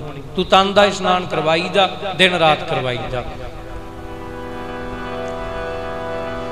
ਅਸੀਂ ਇਤਿਹਾਸ ਵਿੱਚ ਕਦੇ ਸੁਣਿਆ ਹੋਏ ਜ਼ਿਕਰ ਆਉਂਦਾ ਹੈ ਬਾਸਰ ਕੇ ਨਗਰ ਅੰਮ੍ਰਿਤਸਰ ਸਾਹਿਬ ਦੇ ਨਜ਼ਦੀਕ ਹੈ ਇੱਥੇ ਇੱਕ ਬਾਬਾ ਤੇਜ ਭਾਨ ਜੀ ਰਹਿੰਦੇ ਨੇ ਤੇਜਪਾਨ ਜੀ। ਇਹ ਬਾਬਾ ਤੇਜਪਾਨ ਜੀਆਂ ਦਾ ਇੱਕ ਕਰਮ ਬਣਿਆ ਹੋਇਆ ਸੀ, ਕਰਮ। ਇਹਨਾਂ ਨੇ 6 ਮਹੀਨਿਆਂ ਬਾਅਦ, ਕਦੇ 4 ਮਹੀਨਿਆਂ ਬਾਅਦ, ਕਦੇ ਸਾਲ ਬਾਅਦ ਇਹਨਾਂ ਨੇ ਗੰਗਾ ਤੇ ਜਾਣਾ, ਇਸ਼ਨਾਨ ਕਰਨ ਜਾਣਾ।